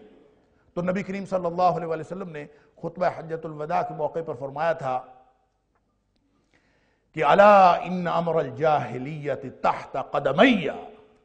जाहलीत की सारी बातें मेरे दोनों कदमों के नीचे और जाहलीत की कौन सी बातें थी? उनमें सबसे बड़ी बात यह कबायली असबियत थी। और नबी करीम वसल्लम ने यह कबायली असबियत ख़त्म की। लेकिन आप देखते हैं कि जो ही कुछ अरसा गुजरा, नबी अकरम वसल्लम से जैसे जैसे लोग ज़मानी तौर पर बोध का शिकार होते गए, आपकी तालीमत को छोड़ते गए तो हम देखते हैं कि माशरे के अंदर सबसे बड़ा जो फसाद बरपा हुआ है, इसी खानदानी असमियत की वजह से हुआ। इसी खानदानी रकाबत की वजह से फसाद पैदा हुआ। वो बनू फलां से है, मैं बनू फलां से हूँ। मैं, वो बनू फलां से है, मैं बनू फलां से हूँ। यानी हत्या के जब मुसलमा कजाब ने दावा किया है नबूत का, नबी अकरम सल्लल्लाहु अलैहि वसल्लम की मौजूदगी में, यानी इससे बड़ा कजाब दज्जाल कौन हो सकता है? इससे बड़ी बदबख्ती क्या हो सकती है? तो वो ये, उसके पैरोकार ये कहा करते थे, अल्लाह अकबर, के रबिया का झूठा नबी मुजर के सच्चे नबी से बेहतर है। वो कहते, अपनी नस्ल का नाम लेके, वो कहते थे ये हमारी नस्ल का चाहे ये झूठा नबी है, यानी मानते थे कि झूठा है तो वो दूसरे कबीले के सच्चे नबी से बेहतर है, इसलिए कि ये हमारा है। तो कबायली असबियत यही है। नबी करीम सल्लल्लाहु अलैहि वसल्लम से किसी ने पूछा था, मल असबिया अल्लाह के रसूल वसल्लम असबियत होती क्या है? ये गिरोहबंदी क्या है? क्योंकि आपने बहुत सख्त हुक्म फरमाया था कि लई मिन्ना मंदासबिया जो किसी भी तरह की गिरोहबंदी की तरफ़ दावत दे, वो हम में से है ही नहीं। अब पूछा, मल असबिया या सल्लल्लाहु वसल्लम? आपने फरमाया असबियत यह है कि तू अपनी कौम की हिमायत करे, चाहे वो जुल्म पर हो। यानी सही है, गलत है, जो मर्ज़ी है, मेरा, हमारे ग्रुप का है, हमारे धड़े का है, हमारे खानदान का है। तो ये वो बुत हैं बरादरी और खानदान के जो हर दौर में पूजे जाते रहे। और आज भी जदीद तरीन दुनिया में जमहूरियत का नारा लगाने वाले, और जदीद तरीन और यूँ कह लीजिए कि जमहूरियत के चैंपियन जो ममालिक हैं, उनके अंदर भी यही जो असबियत है, यही कारफरमा है इलेक्शन होते हैं, बिरादरियों के नाम पर होते हैं, वोट लिए जाते हैं, बिरादरियों के नाम पर लिए जाते हैं। आपको मालूम है कि आपके पड़ोसी मुल्क में जहाँ पे जमहूरियत कहा जाता है कि सबसे बड़ी जमहूरियत कायम है, उसका जो मौजूदा वज़ीर आज़म है, वो एक तासुब का नारा लेकर वज़ीर आज़म बना है। बल्कि यूँ कहना चाहिए कि इस वक्त जो वर्ल्ड सुपर पावर जो अपने आप को कहती, दुनिया का सबसे बड़ा जो मुल्क है इस वक्त, जो ताकत के एतबार से जिसको समझा जाता है उसके अंदर भी जो हालिया इलेक्शन हुए हैं, आपको मालूम है कि वो एक तासुब का नारा लगाकर वो कामयाब हुआ है।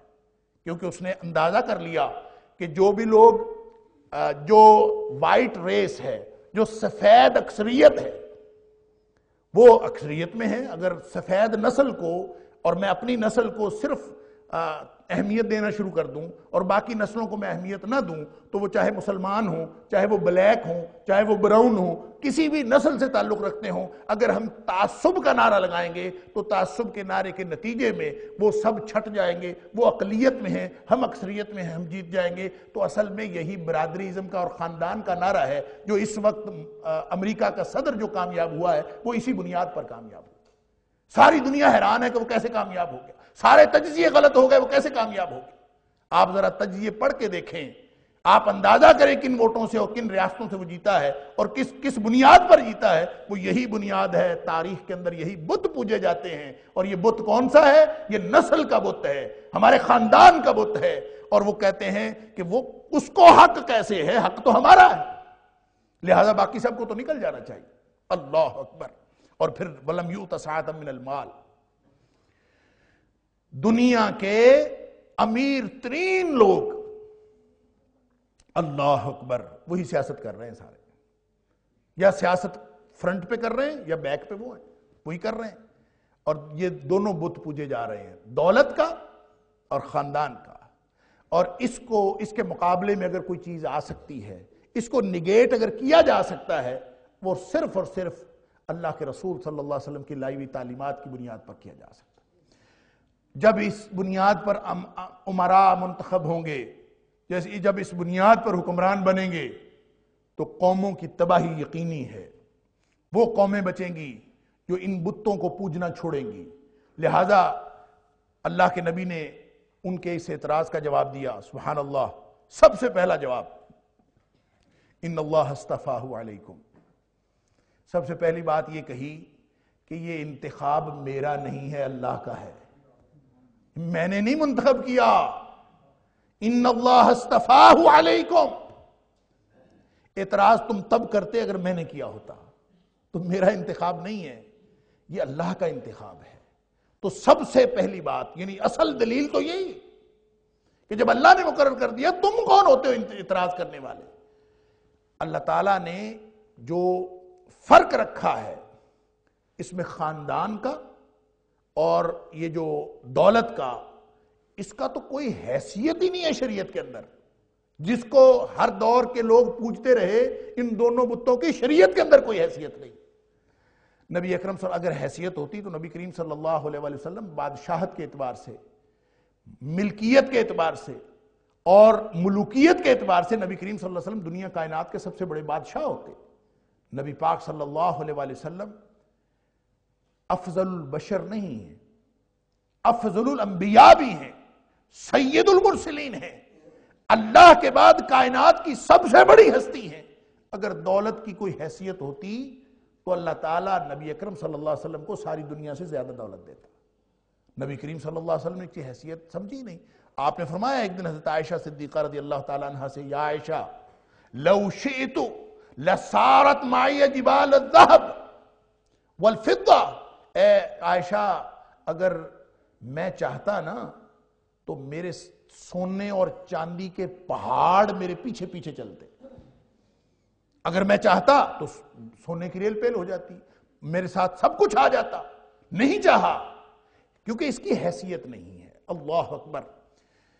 वो हदीस बुखारी शरीफ की आपने सुनी हुई है कि नबी करीम सल्लल्लाहु अलैहि वसल्लम एक दिन तशरीफ़ फरमा थे आपके सामने, यानी मुकाम मरतबा किस चीज़ का है?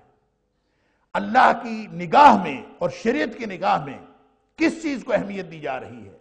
इन नाकरामकुम इज़्ज़त वाले वो नहीं है जिनके पास दौलत ज़्यादा है। ये तुम्हारा मैार है। ये इंसानी अकल का मैार है। ये तारीख के बुत प्रस्तों का ये मैार है कि दौलत हो और खानदान हो अगर ये दो नहीं है, सियासी खानदान हो, पीछे उसका कोई देखिए, एक होता है नस्ब। अल्लाह ने नबियों में से किसी का नस्ब कमतर नहीं रखा। हर नबी आला तरीन नस्ब से अल्लाह ताला ने रखा। उसकी वजह यह है कि लोग कमतर नस्ब वालों को और फिर खास तौर पे किसी के नस्ब में अल्लाह ताला ने कोई ऐसी झोल नहीं रखी कि नबी अकरम सल्लल्लाहु अलैहि वसल्लम पर या तारीख के किसी भी नबी पर कोई शख्स उंगली उठा सके, क्योंकि नस्ब का ताल्लुक उनके किरदार के साथ होता। लिहाजा अल्लाह ताला ने हर एक का अच्छा नस्ब रखा। रह गई बात कि उसकी बुनियाद पर आप किसी नबी ने कोई दावा किया हो और किसी नबी ने उस उस खानदानी वजाहत की बुनियाद पर अपना ढोंस जमाया हो, इसकी कोई तारीख नहीं मिलती। नबी अकरम सल्लल्लाहु अलैहि वसल्लम को अल्लाह ताला ने जो कुछ भी अता फरमाया, आपने फरमाया, अना सैयद वुल्द आदम वला फखर मैं बेहतरीन मखलूक हूँ और सबका सरदार हूँ, लेकिन मैं फख्र नहीं करता। यानी अल्लाह ताला ने अता फरमाया। अब जो अमलन सूरत हाल है। नबी करीम सल्लल्लाहु अलैहि वसल्लम फरमाते हैं, एक शख्स गुजरा। अल्लाह अकबर। आपने पूछा, ये कौन है? हदीस के सियाक सबाक से लगता है कि वो शख्स घोड़े पर सवार था और उसके साथ बॉडीगार्ड्स भी होंगे और यूँ कोई अपने पूरे शान शौकत के साथ गुजरा।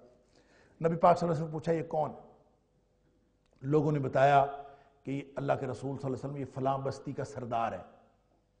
और इसकी बड़ी मानता है। लोग इसको मानते हैं और अगर ये किसी के यहाँ कोई बात करे, लोग इसके हुक्म की फ़ौरन तामील करते हैं। और अगर कहीं ये रिश्ते का पैगाम भेज दे तो लोग भागे चले आए इसको रिश्ता देने के लिए। अगर किसी की सिफारिश कर दे, लोग इसकी सिफारिश कबूल करें। समझ आ गई क्या मैार है? यानी दौलतमंद भी है, समाजी मरतबे, मुकाम मरतबे का हामिल है। खानदान भी उसका अच्छा है। और समाजी तौर पर सबसे बुलंद भी है। खैर, नबी पाक सल्लल्लाहु अलैहि वसल्लम खामोश रहे। थोड़ी देर बाद एक और शख्स गुजरा। अकेला, पुराने से कपड़े, कोई उसके साथ कुछ नहीं। नबी पाक सल्लल्लाहु अलैहि वसल्लम ये कौन है? साहबी कहता है, अल्लाह के रसूल सल्लल्लाहु अलैहि वसल्लम हुवा मिन फ़ुकरा मुस्लिमीन। ये ऐसे फ़ुकरा साहब मुसलमान हैं। और इसके, इसकी बात तो इसके घर वाले नहीं मानते। अगर ये सिफारिश कर दे, इसकी कोई सिफारिश कबूल नहीं करता। इन कालयुस्मा अगर ये कोई बात करता है, कोई नहीं सुनता। और अगर कोई इसको, अगर ये कहीं निकाह का पैगाम भेज दे, कोई इसको रिश्ता देने के लिए तैयार नहीं। अब अंदाज़ा करते हैं ऐसा शख्स कौन होता। लेकिन है मुसलमान, नेक परहेजगार आदमी। निग्लेक्टेड क्लास जिसको समाजी तौर पर कोई मुकाम मरतबा नहीं। तो नबी अकरम वसल्लम ने ये नहीं फरमाया कि ये शख्स उस शख्स से बेहतर है।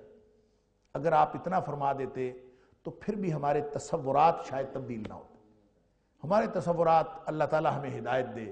नबी करीम सल्लल्लाहु अलैहि वसल्लम असल मसला तस्वुर का है।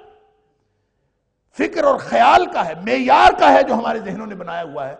नबी करीम सल्लल्लाहु अलैहि वसल्लम फरमाया, हुआ खैरुम मिन मिल हादा। ये जो शख्स गुजरा है ना, और वो जो पहले शख्स गुजरा है उस जैसे लोगों की ज़मीन भरी हुई हो तो उन तमाम लोगों से ये अकेला शख्स बेहतर है। यानी सिर्फ़ इतना नहीं कि ये उससे बेहतर है, बल्कि उस जैसे लोगों की ज़मीन भरी हुई हो मिल इल अर्ज़, ज़मीन भरी हुई हो, उन सबसे ये अकेला शख्स बेहतर है। अब अल्लाह के यहाँ ये मैार है।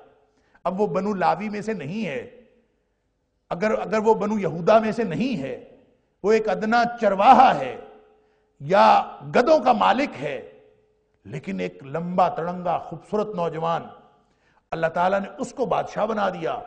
अब नबी ने मुंतखब किया, नामजद किया, लोगों ने एतराज़ किया, फरमाते हैं, मैंने तो किया ही नहीं।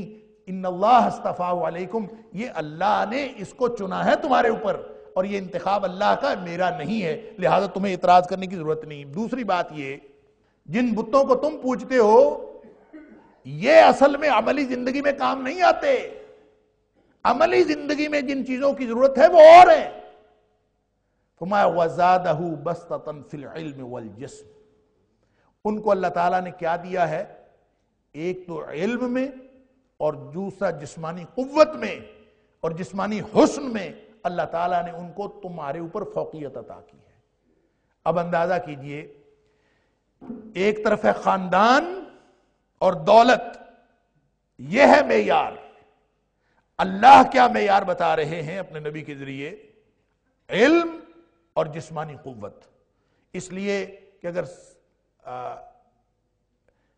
क्यादत करनी है, अगर इंतजामी उमूर संभालने हैं, अगर पूरी कौम को लेकर चलना है तो उसके लिए इल्म की ज़रूरत है, फहम की ज़रूरत है, दुरुस्त और रास्त फ़िक्र की ज़रूरत है, अच्छे ख्याल की ज़रूरत है और दुरुस्त इल्मी बुनियाद की ज़रूरत है। उसके बगैर इंसान कैसे अगर किसी की इल्म की बुनियाद ही दुरुस्त ना हो, ख्वाहिशात नफ्स पर मबनी इल्म हो तो वो कभी भी किसी कौम की क्यादत नहीं कर सकता या क्यादत, उसकी क्यादत में कौम कभी तरक्की नहीं कर सकती। लिहाजा इल्म और फिर दूसरी चीज़, जिस्मानी कुत इसलिए कि जब जंग के अंदर लड़ना है, जो असल तो मसला ही कताल का था तो कताल में वही लड़ेगा ना जिसको अल्लाह ताला ने जिस्मानी कुत दी होगी, जो लोग नाजुक मिजाज और नरम बिस्तरों में पलने वाले, सोने का चम्मच मुँह में लेके पलने वाले, वो लोग कहाँ लड़ेंगे जाके? लिहाजा दोनों बातें ही तब्दील कर दी। न खानदान, न दौलत यह मैार नहीं है। हुक्मरानी का मैार है इल्म और जिस्म। अल्लाह ताला ने जिस्मानी कुतें और इल्मी कुतें जिसको अता फरमाई हो। और तालूत की अल्लाह करीम ने यही एक, दो फजाइल बयान किए।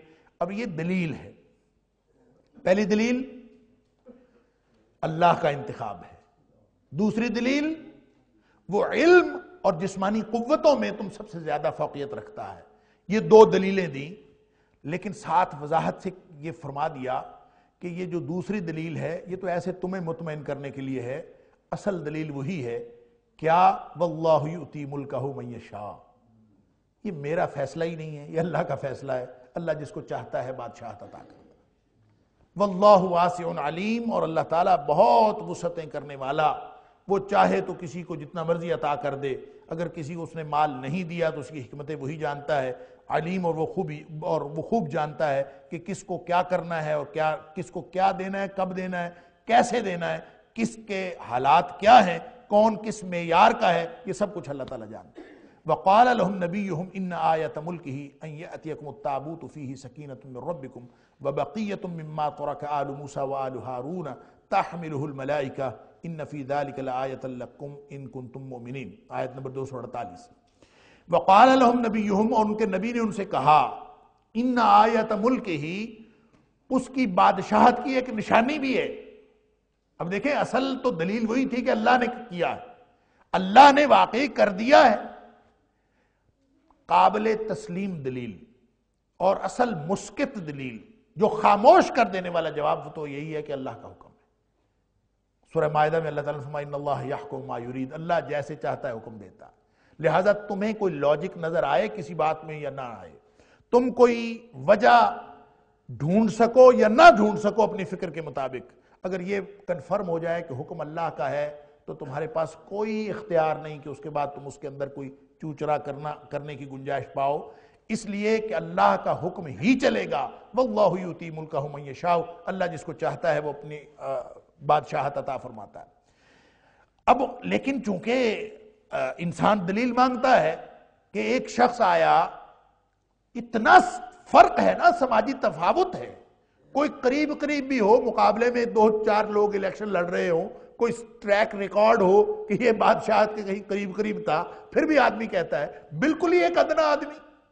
और समाजी तौर पर बिल्कुल ही जिसका कोई नामो निशान नहीं, कोई शख्स कैसे कबूल करेगा? अल्लाह, उसको कबूल करने के लिए जहन साजी की ज़रूरत है। और वो जहन जो बिगड़े हुए जहन है, वो मुआरा जो बिगड़ा हुआ मुआरा है, वो किरदार जो बिगड़े हुए किरदार है, उसको कैसे कबूल करेंगे? लिहाजा एक निशानी दी। फरमाया, इन्ना आया था मुल्क ही उसकी बादशाह की एक निशानी अल्लाह ताला ने था फरमाया ताकि ये कन्फर्म हो जाए कि वाकई ये अल्लाह की तरफ़ से मुकर हुआ है और तुम्हें पता चल जाए कि अल्लाह का इंतखब है। वो निशानी है कि यातियकुम ताबूत फ़ी सकीनत रबिकुम कि तुम्हारे पास वो ताबूत आ जाएगा अत ताबूत वही ताबूत तुम्हारे पास आ जाएगा फ़ी ही सकीना, जिसके अंदर तुम्हारे लिए सुकून और इतमान है मिर रबिकुम तुम्हारे रब की तरफ़ से, व बकीयतुन और वो सारी जो आ, बाकी चीज़ें हैं मिम्मा तारका आल मूसा व आल हारून जिनको आल मूसा और आल हारून ने छोड़ा उनकी बकिया चीज़ें ताहमिल मलाइका उस संदूक को फरिश्ते उठाए हुए होंगे। इन नफी दालिकल आया इसमें तुम्हारे लिए निशानी है लकुम तुम्हारे लिए इन कुन तुम मोमिन अगर तुम्हें अल्लाह की बातों पर और अल्लाह के रसूल सल्लल्लाहु अलैहि वसल्लम की बातों पर ईमान है तो इसमें तुम्हारे लिए निशानी यह ताबूत सकीनत कहलाता है, ताबूत तौब से है। तौब का मतलब होता है रुजू करना। ताबा यतूब, तौबन रुजू करना। तो ताबूत उसको इसलिए कहते हैं कि बनी इसराइल, जैसा कि मैंने अर्ज़ किया कि जब ये बनी इसराइल निकले थे मिस्र से मिस्र से निकलने से लेकर हैकले सुलेमानी की तामीर तक, यानी किबला अव्वल की तामीर तक ये जो दरमियान वाली सदियाँ गुजरी हैं, इनके पास बतौर किबला, जिसकी तरफ़ ये रुजू करते थे, वो यही संदूक था। इसलिए उसका नाम ताबूत रखा गया। हम तो हर संदूक को ताबूत कह देते हैं ना, कि जिसमें मैयत भी रखी हम उसको ताबूत कह देते हैं। हालाँकि ये असल में ताबूत बहुत स्पेसिफिक लफ्ज है, और इसका मतलब है जिसकी तरफ़ रुजू किया जाए। तो वो एक संदूक था जिसकी तरफ़ रुजू किया जाता था। रुजू किस लिए किया जाता था? उसमें था क्या? कुरान ने कहा कि उसमें सकीनत भी है, अल्लाह की तरफ़ से तुम्हारे लिए सुकून, और ये सकीनत वही है जिसका ज़िक्र अल्लाह करीम ने सूरह फतह के अंदर भी फरमाया और सूरह तौबा के अंदर भी अल्लाह ताला ने उसका ज़िक्र फरमाया कि ये जो ऐसी सूरत हाल में जब लोगों के बड़े बड़े लोगों के दिल दहल जाते हैं और इंसान किसी खौफ की कैफियत में या रोब और दबदबे और दहशत की कैफियत में होता है उस वक्त अल्लाह ताला कुछ लोगों के दिलों को जमा देता है और उनको ऐसा इतमान नसीब कर देता है और वो बज़ाहिर एक, जैसे गजबा बदर के अंदर भी अल्लाह ताला ने सकीनत अता फरमाई, जैसा गजबा हुनैन के मौका पर भी मुसलमानों को जब एक शिकस्त का सामना हुआ बज़ाहिर तो अल्लाह ताला ने एक सकीनत अता फरमाई कि क्या मतलब कि उस वक्त जो सिचुएशन का, उस सूरत हाल का जो खौफ था, जो हैबत थी, वो अल्लाह ताला ने दिलों से निकाल दी। ऐसा सुकून हो गया। ये गोया एक एक नींद की सी कैफियत गुनूदगी की सी कैफियत होती है इसके बाद अल्लाह ताला सबको वो आ, ऐसा सुकून अता फरमा देता है। यानी आप देखें ना किसी भी मुश्किल तरीन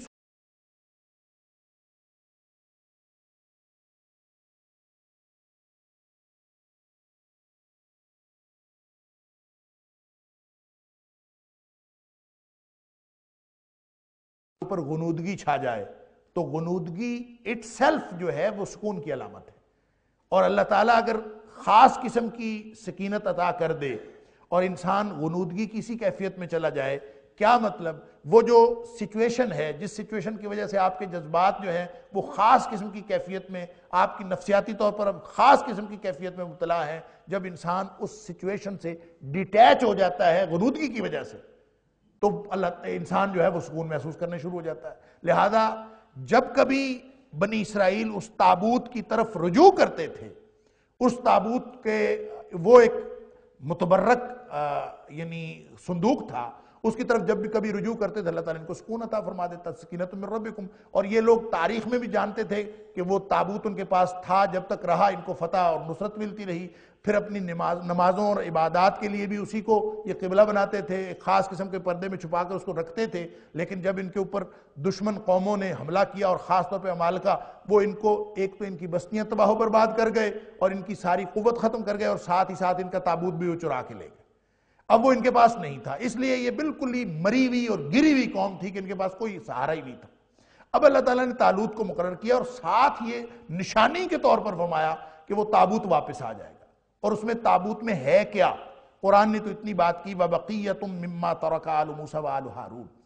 कि मूसा अलैहिस्सलाम और हारून अलैहिस्सलाम के खानदान की कुछ बकिया चीज़ें उसमें थी। उनका कोई तरका था। लेकिन था मुतबर्रक और उसमें आ, क्या था? मुफसरीन ने उसकी तफसीलात लिखी हैं कि इब्तदान तो उसमें सिर्फ़ वो तख्तियाँ थी पत्थर की तख्तियाँ जिन पर लिखी हुई तौरात हज़रत मूसा को कोहतूर पर मिली थी। उसके बाद एक और नुस्खा भी उसमें था तौरात का, जो हज़रत मूसा अलैहिस्सलाम ने खुद लिखवाया था। एक खास तरतीब से, वो तो तख्तियाँ मुख्तलिफ़ तरतीब से थी, बल्कि उन तख्तियों के बारे में ये भी कहा जाता है कि जब हज़रत मूसा अलैहिस्सलाम वापस तशरीफ़ लाए और उन्होंने अपनी कौम को बुत परस्ती में मसरूफ़ पाया तो उनको बहुत गुस्सा आया। उस गुस्से के दौरान उन्होंने तख्तियाँ फेंक दी थी। और वो तख्तियाँ जब फेंकी थी तो वो टूट गई थी, लेकिन उनको फिर इकट्ठा करके उसी संदूक में रख लिया गया था लेकिन उसके बाद इस बुनियाद पर, इस वजह से कि वो चूँकि टूट गई थी, हज़रत मूसा अलैहिस्सलाम ने खुद तौरात लिखवाई थी। और खुद तौरात का एक नुस्खा लिखवा के वो भी उसी संदूक में रख दिया था। तो हज़रत मूसा अलैहिस्सलाम की लिखवाई हुई तौरात का नुस्खा भी उसमें मौजूद था।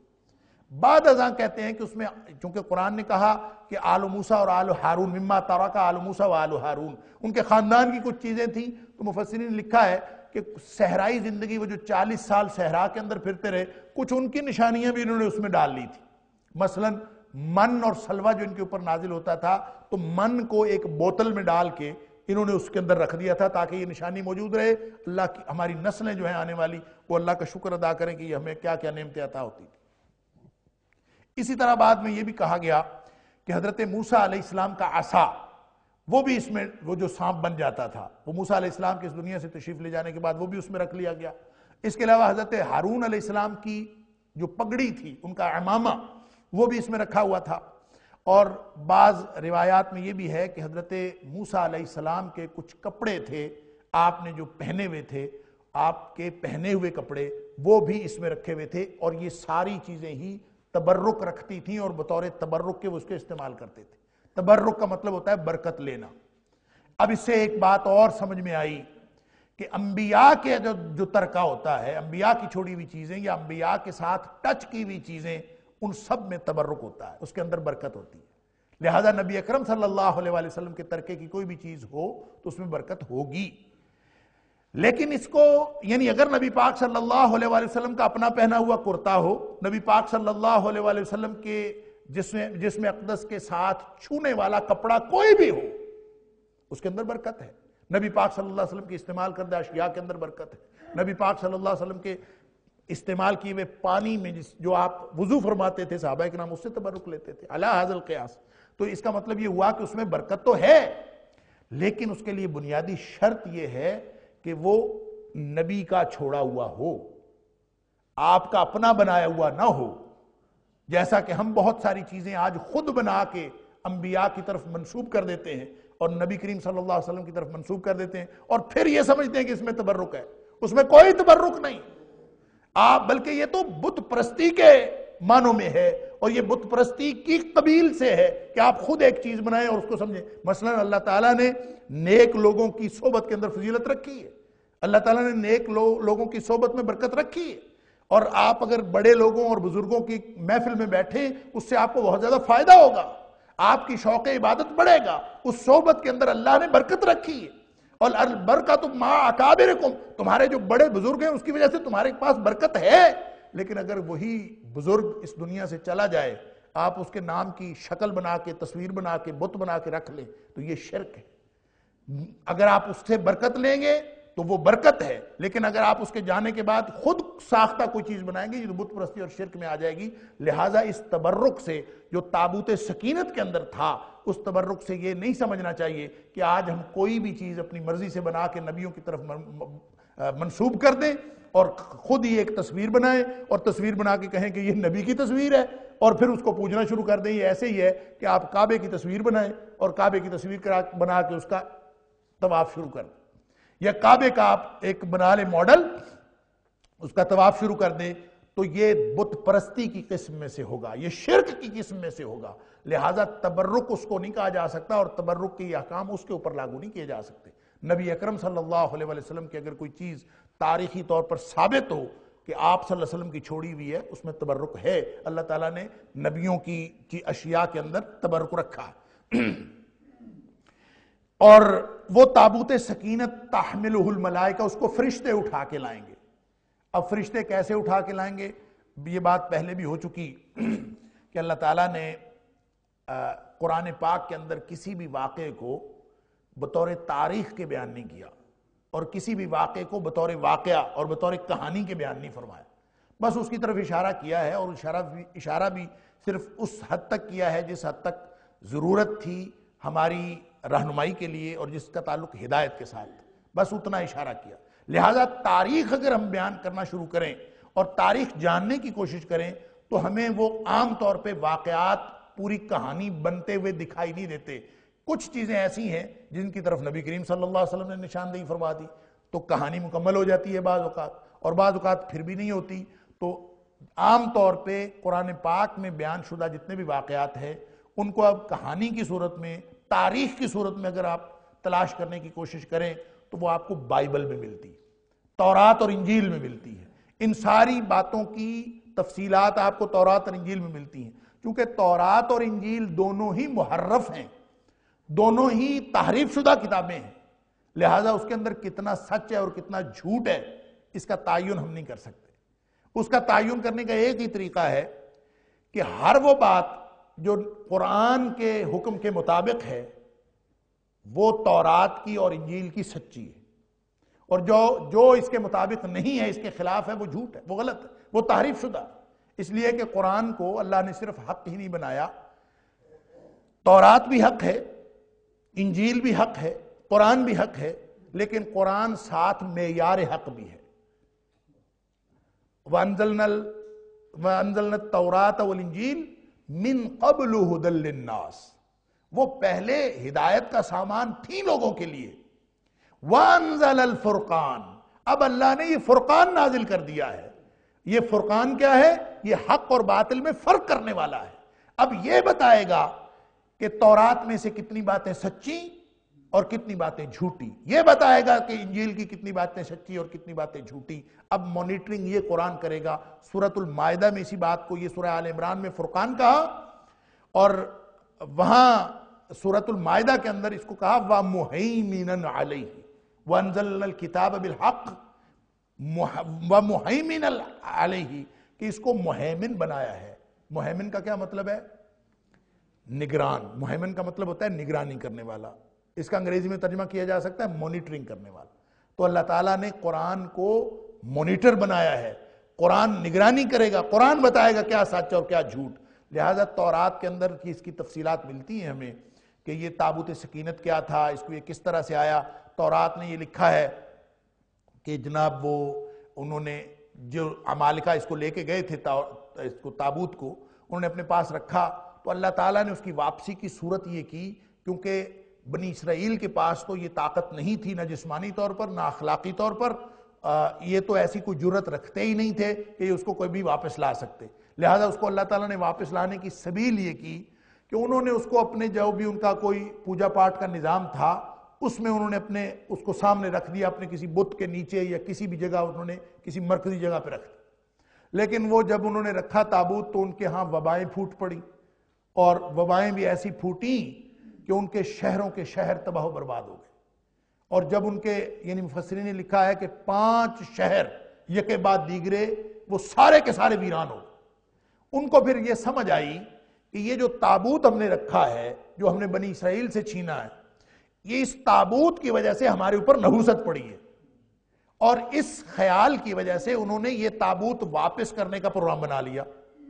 अब वापस किसको करना है? वो दुश्मन कौम है। और मफतूह कौम है। उसको कैसे वापस करेंगे? कोई ऐसा, ऐसी कौम हो जिसके साथ कोई मुआदा हो तो उसको आप वापस कर दें। लिहाजा उन्होंने ये सोचा कि ये, चूँकि वो उसको नहुसत की अलामत समझ रहे थे, लिहाजा उन्होंने ये सोचा कि इसको बहरहाल यहाँ से तो निकाल देना चाहिए।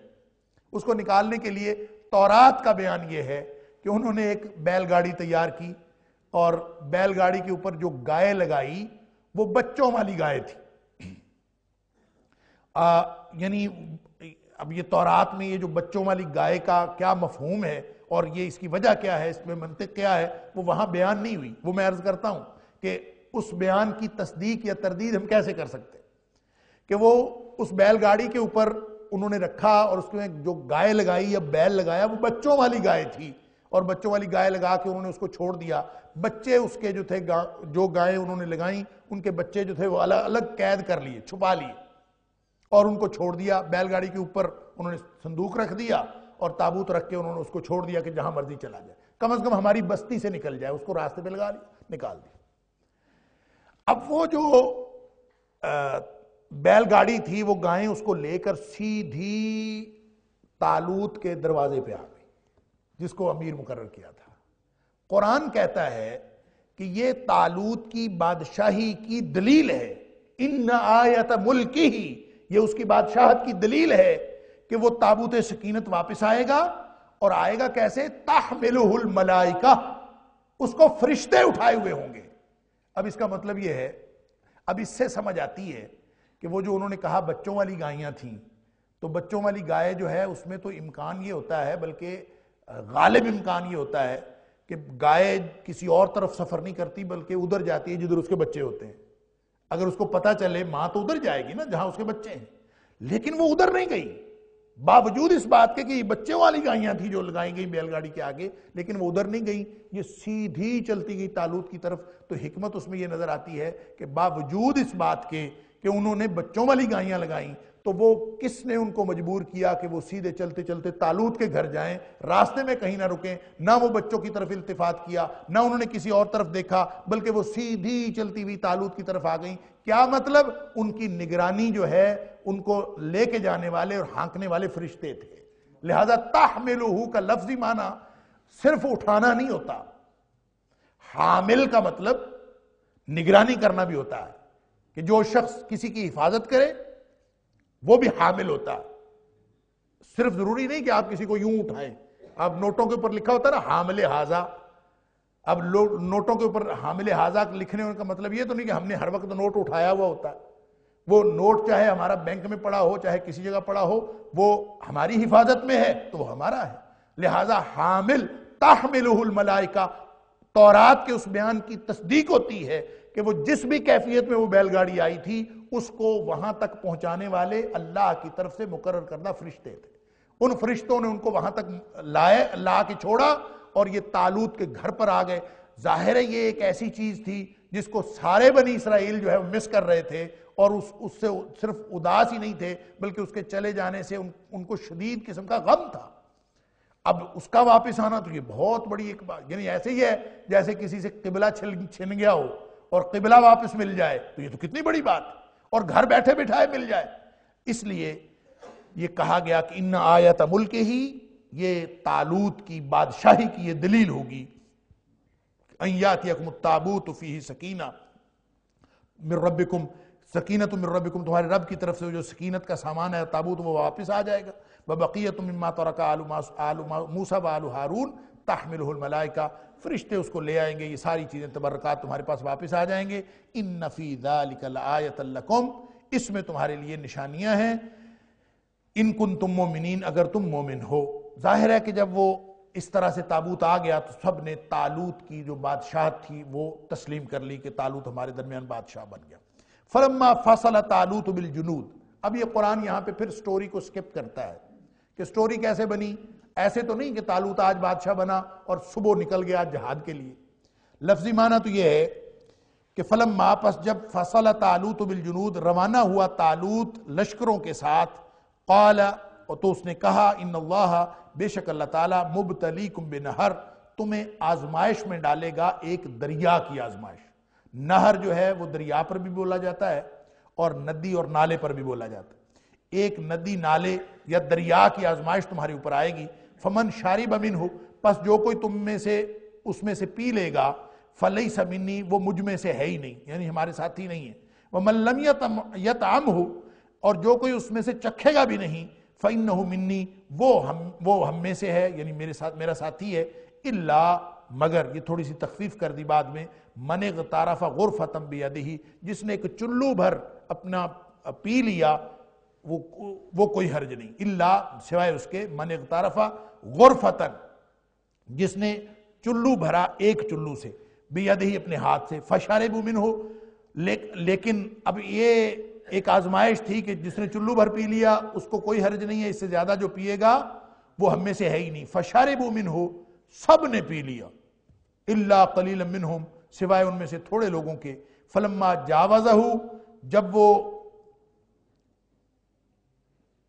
पार उतरे जावाजहू यानी उस नहर को पार कर लिया, तजावुज कर लिया, उससे आगे निकल गए।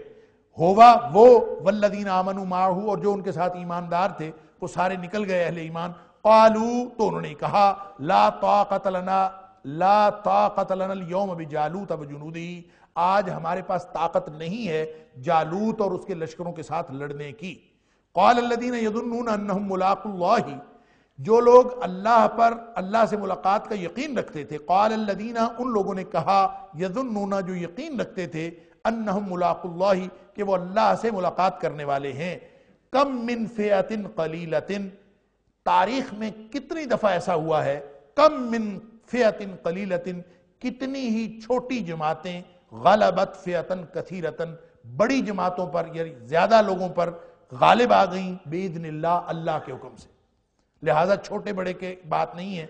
ये तो अल्लाह का कानून है। वल्लासाबिरीन और अल्लाह ताला डटने वालों के साथ है। अब यहाँ पे कुरान तो कहानी स्किप करता है कि तालूत बादशाह बना और तालूत जालूत के मुकाबले में निकल खड़ा हुआ। जालूत अमालिका का, जो उस वक्त फलस्तीन के ऊपर हुक्मरान थे और बड़ी लंबी तड़ंगी कौम थी वही कौम थी जब हज़रत मूसा सलाम ने कहा था ना, चलो फलस्तीन जाओ, और फलस्तीन के तो सिर्फ़ दरवाजे में दाखिल हो जाओ, जिसका ज़िक्र सूरह माहिदा के अंदर है कि सिर्फ़ दरवाजे से दाखिल हो जाओ, अल्लाह ताला ने, अल्लाह ताला ने फतह तुम्हारे लिए लिख दी है, सिर्फ़ दरवाजे से दाखिल हो जाओ। लेकिन ये नहीं गए, और देख के डर गए कि इन्ना फीहा कौमन जब्बारीन, कि इसमें तो बड़े ज़बरदस्त जोरावर लोग हैं। तो हम कैसे जाके लड़े? हम उनसे नहीं लड़ सकते, हमारा हम मुकाबला कर ही नहीं सकते। तो ऐस ये वही कौम थी और उनका खास तौर पर जो उस वक्त का सिपा सालार था, जिसका नाम जालूत है। कुरान ने उसको जालूत कहा, तौरात उसको जाति जूलियत लिखती है, यानी जूलियट तो वो जालूत जो था, वो एक तो बहुत तगड़ा और तनुमंद जवान था और दूसरा पूरा का पूरा लोहे में डूबा हुआ था। उसकी बड़ी शोहरत थी। पूरी की पूरी कौम जिस्मानी एतबार से बनी इसराइल की कौम से बड़ी थी। और उस वक्त की जंग कोई बंदूकों की जंग तो थी नहीं। वो तो सारी की सारी जंग थी जोरे बाजू की।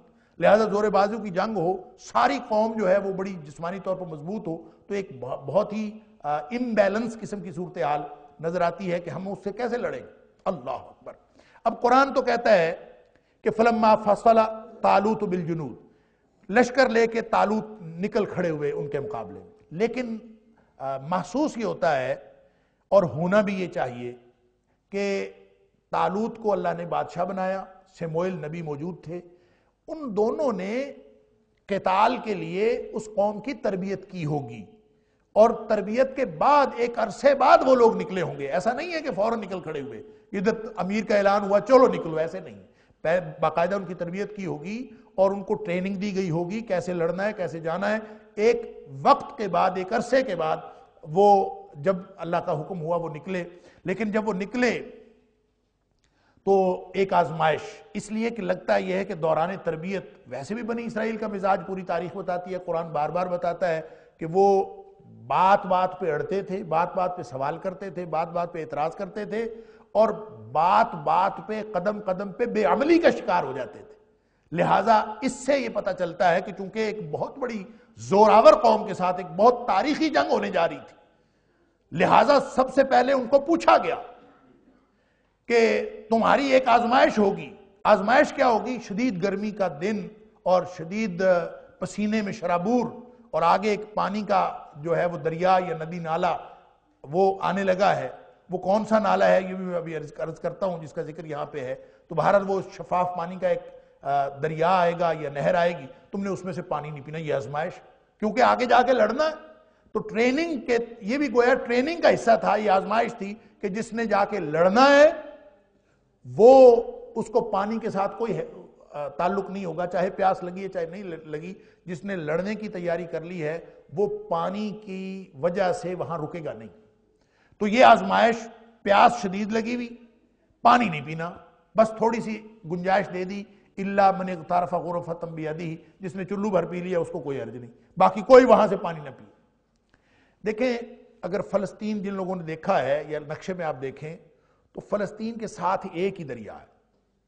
और उस दरिया का नाम है दरियाए उर्दन।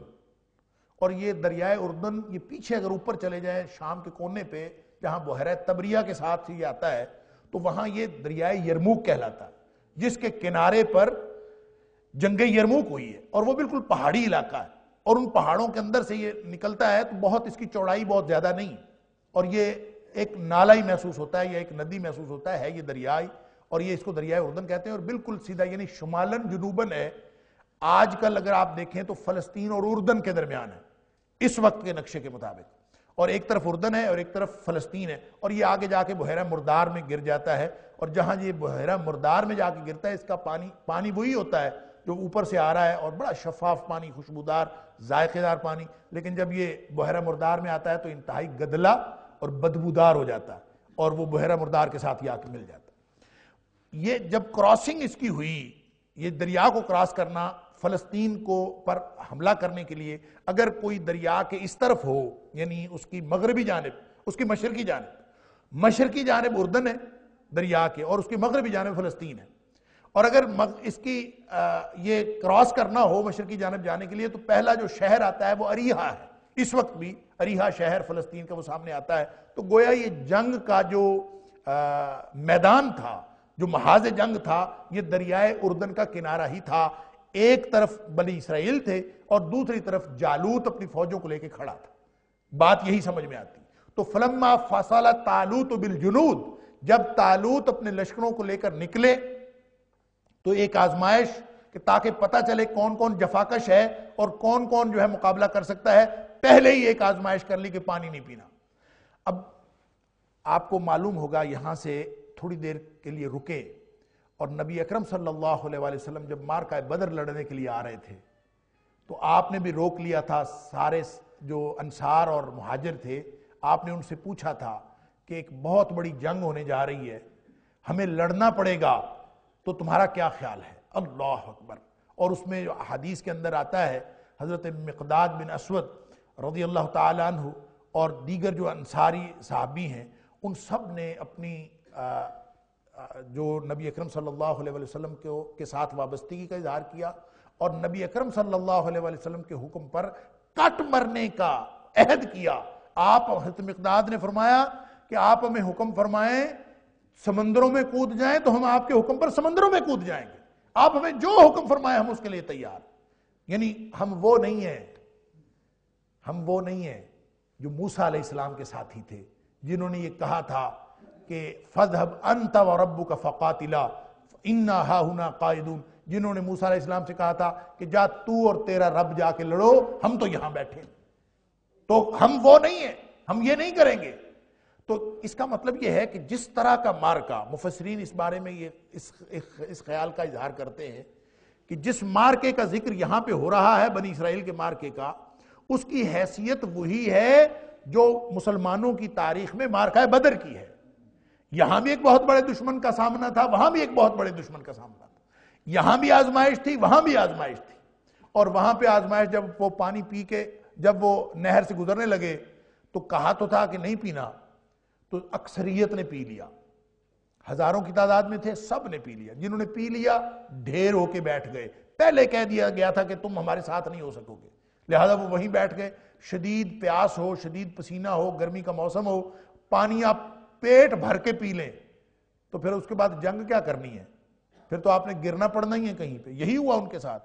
तो चंद लोग रह गए। इल्ला कलील मिनहुम। कुरान कहता है, थोड़े दो लोग रह गए जिन्होंने पानी नहीं पिया, और उनकी तादाद मुफसरीन कराम ने लिखी है, और चंद हदीस के अंदर भी उसका ज़िक्र आता है कि उनकी तादाद 313 थी। वही जो असहाब बदर की तादाद थी।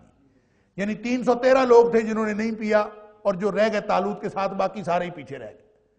और हज़रत बर्रा बिन आजिब रज़ी अल्लाह तु फरमाते हैं कि हम साहबा किराम, जब कभी ज़िक्र करते थे तो हम कहा करते थे कि जब ये आयात आती थी तो हम कहते थे तालूद के साथी उतने ही थे जितने हम बदर में थे। तो यानी ये ये ममासले थे उसके साथ। और एक बहुत बड़ा, यानी, दुश्मन सामने था, और ये सिर्फ़ 313 रह गए। बहरहाल ये वहाँ से निकले फशारबू मिन कलील मिन बाकी उन्होंने पी लिया, थोड़े रह गए। फलम्मा जावज वल्लदीन आमनु माहू। अब तालूत और उनके साथी आगे निकल गए। भी बाकी तो पीछे रह गए। जब सामने देखा, इतना बड़ा दुश्मन और उसके सामने खड़ा हुआ वो जो मुबारजत के लिए पुकार रहा था जालूत, और पूरा का पूरा लोहे में डूबा हुआ, क्या मतलब? अपने ऊपर जीरा उसने इस तरह पहनी हुई मुफसरी ने लिखा है कि सिर्फ़ उसकी आँखें नज़र आती थी और पूरे जिस्म में उसका कोई हिस्सा नज़र नहीं आता था। गोया उसको अगर तीर मारा जाए तो तीर नहीं लगता, लगने का कोई इम्कान था। कोई चीज़ भी मारी जाए तो उसको तलवार क्या, कोई भी चीज़ उसको मारी जाए, इम्कान ही कोई नहीं था, उसको नुकसान पहुँचे। सिर्फ़ उसकी आँखें नज़र आती थी और कुछ नज़र ही नहीं आता था। था भी वो इतना जोरावर कि देख के दिल दहल जाता था। लिहाजा, कालू ला ताकतलना कालू ला था जनूदी देखते ही कहा, इनसे हम कैसे लड़ेंगे? अब ये किनों ने कहा? अक्सर मुफसर ने कहा है कि वो जो पीछे पड़े थे ना, जो पीछे रह गए थे, उन्होंने कहा कि हम नहीं लड़ेंगे। हम इनसे लड़ने की ताकत नहीं रखते। ये लोग आगे चले गए और वो पीछे थे, लेकिन उन्होंने पीछे से देखा कि इतनी बड़ी फौज है तो उन्होंने पीछे से आवाज़ दी कि इनसे लड़ने की हमारे अंदर कोई ताकत नहीं है। एक कौल तो मुफसरीन का ये है कि ये उन्होंने कहा था। लेकिन सही बात जो महसूस होती है और जो दूसरा कॉल है, वो ये कि वो तो पीछे रह गए। अब सिर्फ़ यही 313 थे जो साथ रह गए तालूद के। इन्होंने सामने देखा तो अमरे वाक़े के तौर पर दुश्मन बड़ा था। तो बड़े दुश्मन को देखकर ख्याल तो आता है कि दुश्मन इतना बड़ा है तो इनसे हम कैसे लड़ेंगे? तो ये सिर्फ़ और सिर्फ़ अमरे वाक़े के बयान के तौर पर था। ये कोई पस्त हिम्मती के तौर पर नहीं था। ये कोई ऐसी बात नहीं थी कि ये वापस भागना चाहते थे और पस्त हिम्मती का शिकार हो रहे थे ये देखकर कि इतने बड़े फौज से हम, इतने बड़े लश्कर से हम कैसे लड़ेंगे। बल्कि ये सिर्फ़ इसलिए इन्होंने बयान किया कि लश्कर तो इतना बड़ा है, हमारे पास जाहिरी तौर पर ताकत नहीं है, लेकिन फिर भी हम लड़ेंगे। कौल अल्लादीन जिनके दिल में यकीन था कि हमें अल्लाह के साथ मुलाकात होनी अब देखें परसेप्शन चेंज किया जा रहा है। तस्वुर क्या है? कि हम वहाँ पे जाने लेने के लिए नहीं जा रहे। हम जा रहे हैं अल्लाह से मुलाकात करने के लिए। तो जब अल्लाह से मुलाकात करने के लिए जा रहे हो तो फिर इस बात का क्या डर कि फौज कितनी बड़ी है? इस बात का क्या डर कि दुश्मन कितना बड़ा है? इस बात का क्या डर कि ताकत कितनी है उसके अंदर? जब आप जा ही इसलिए रहे हैं कि मैं टकराऊँगा तो मेरी मुलाकात अल्लाह से हो जाएगी। तो उन्होंने कहा यह मसला ही कोई नहीं है। जब इस नीयत से कोई लड़ता है तो कितनी ही फौजें जो छोटी होती हैं, वो बड़ी फौजों पर गालिब आ जाती हैं जज्बा यह होना चाहिए कि मैं अल्लाह के दिन के लिए लड़ रहा हूँ। अल्लाह। बहरहाल गुफ्तु का सिलसिला भी जारी है। अल्लाह ताला हम सबको कुरान समझने और अमल करने की तोफ़ी अता फरमाए। वक्त हो गया। इन यहीं से गुफ्तु का आगाज़ करेंगे। बशरत ज़िंदगी और बशरत तोफ़ी इलाही। व आखिर दावाना अलहमदिल्ला रबालमी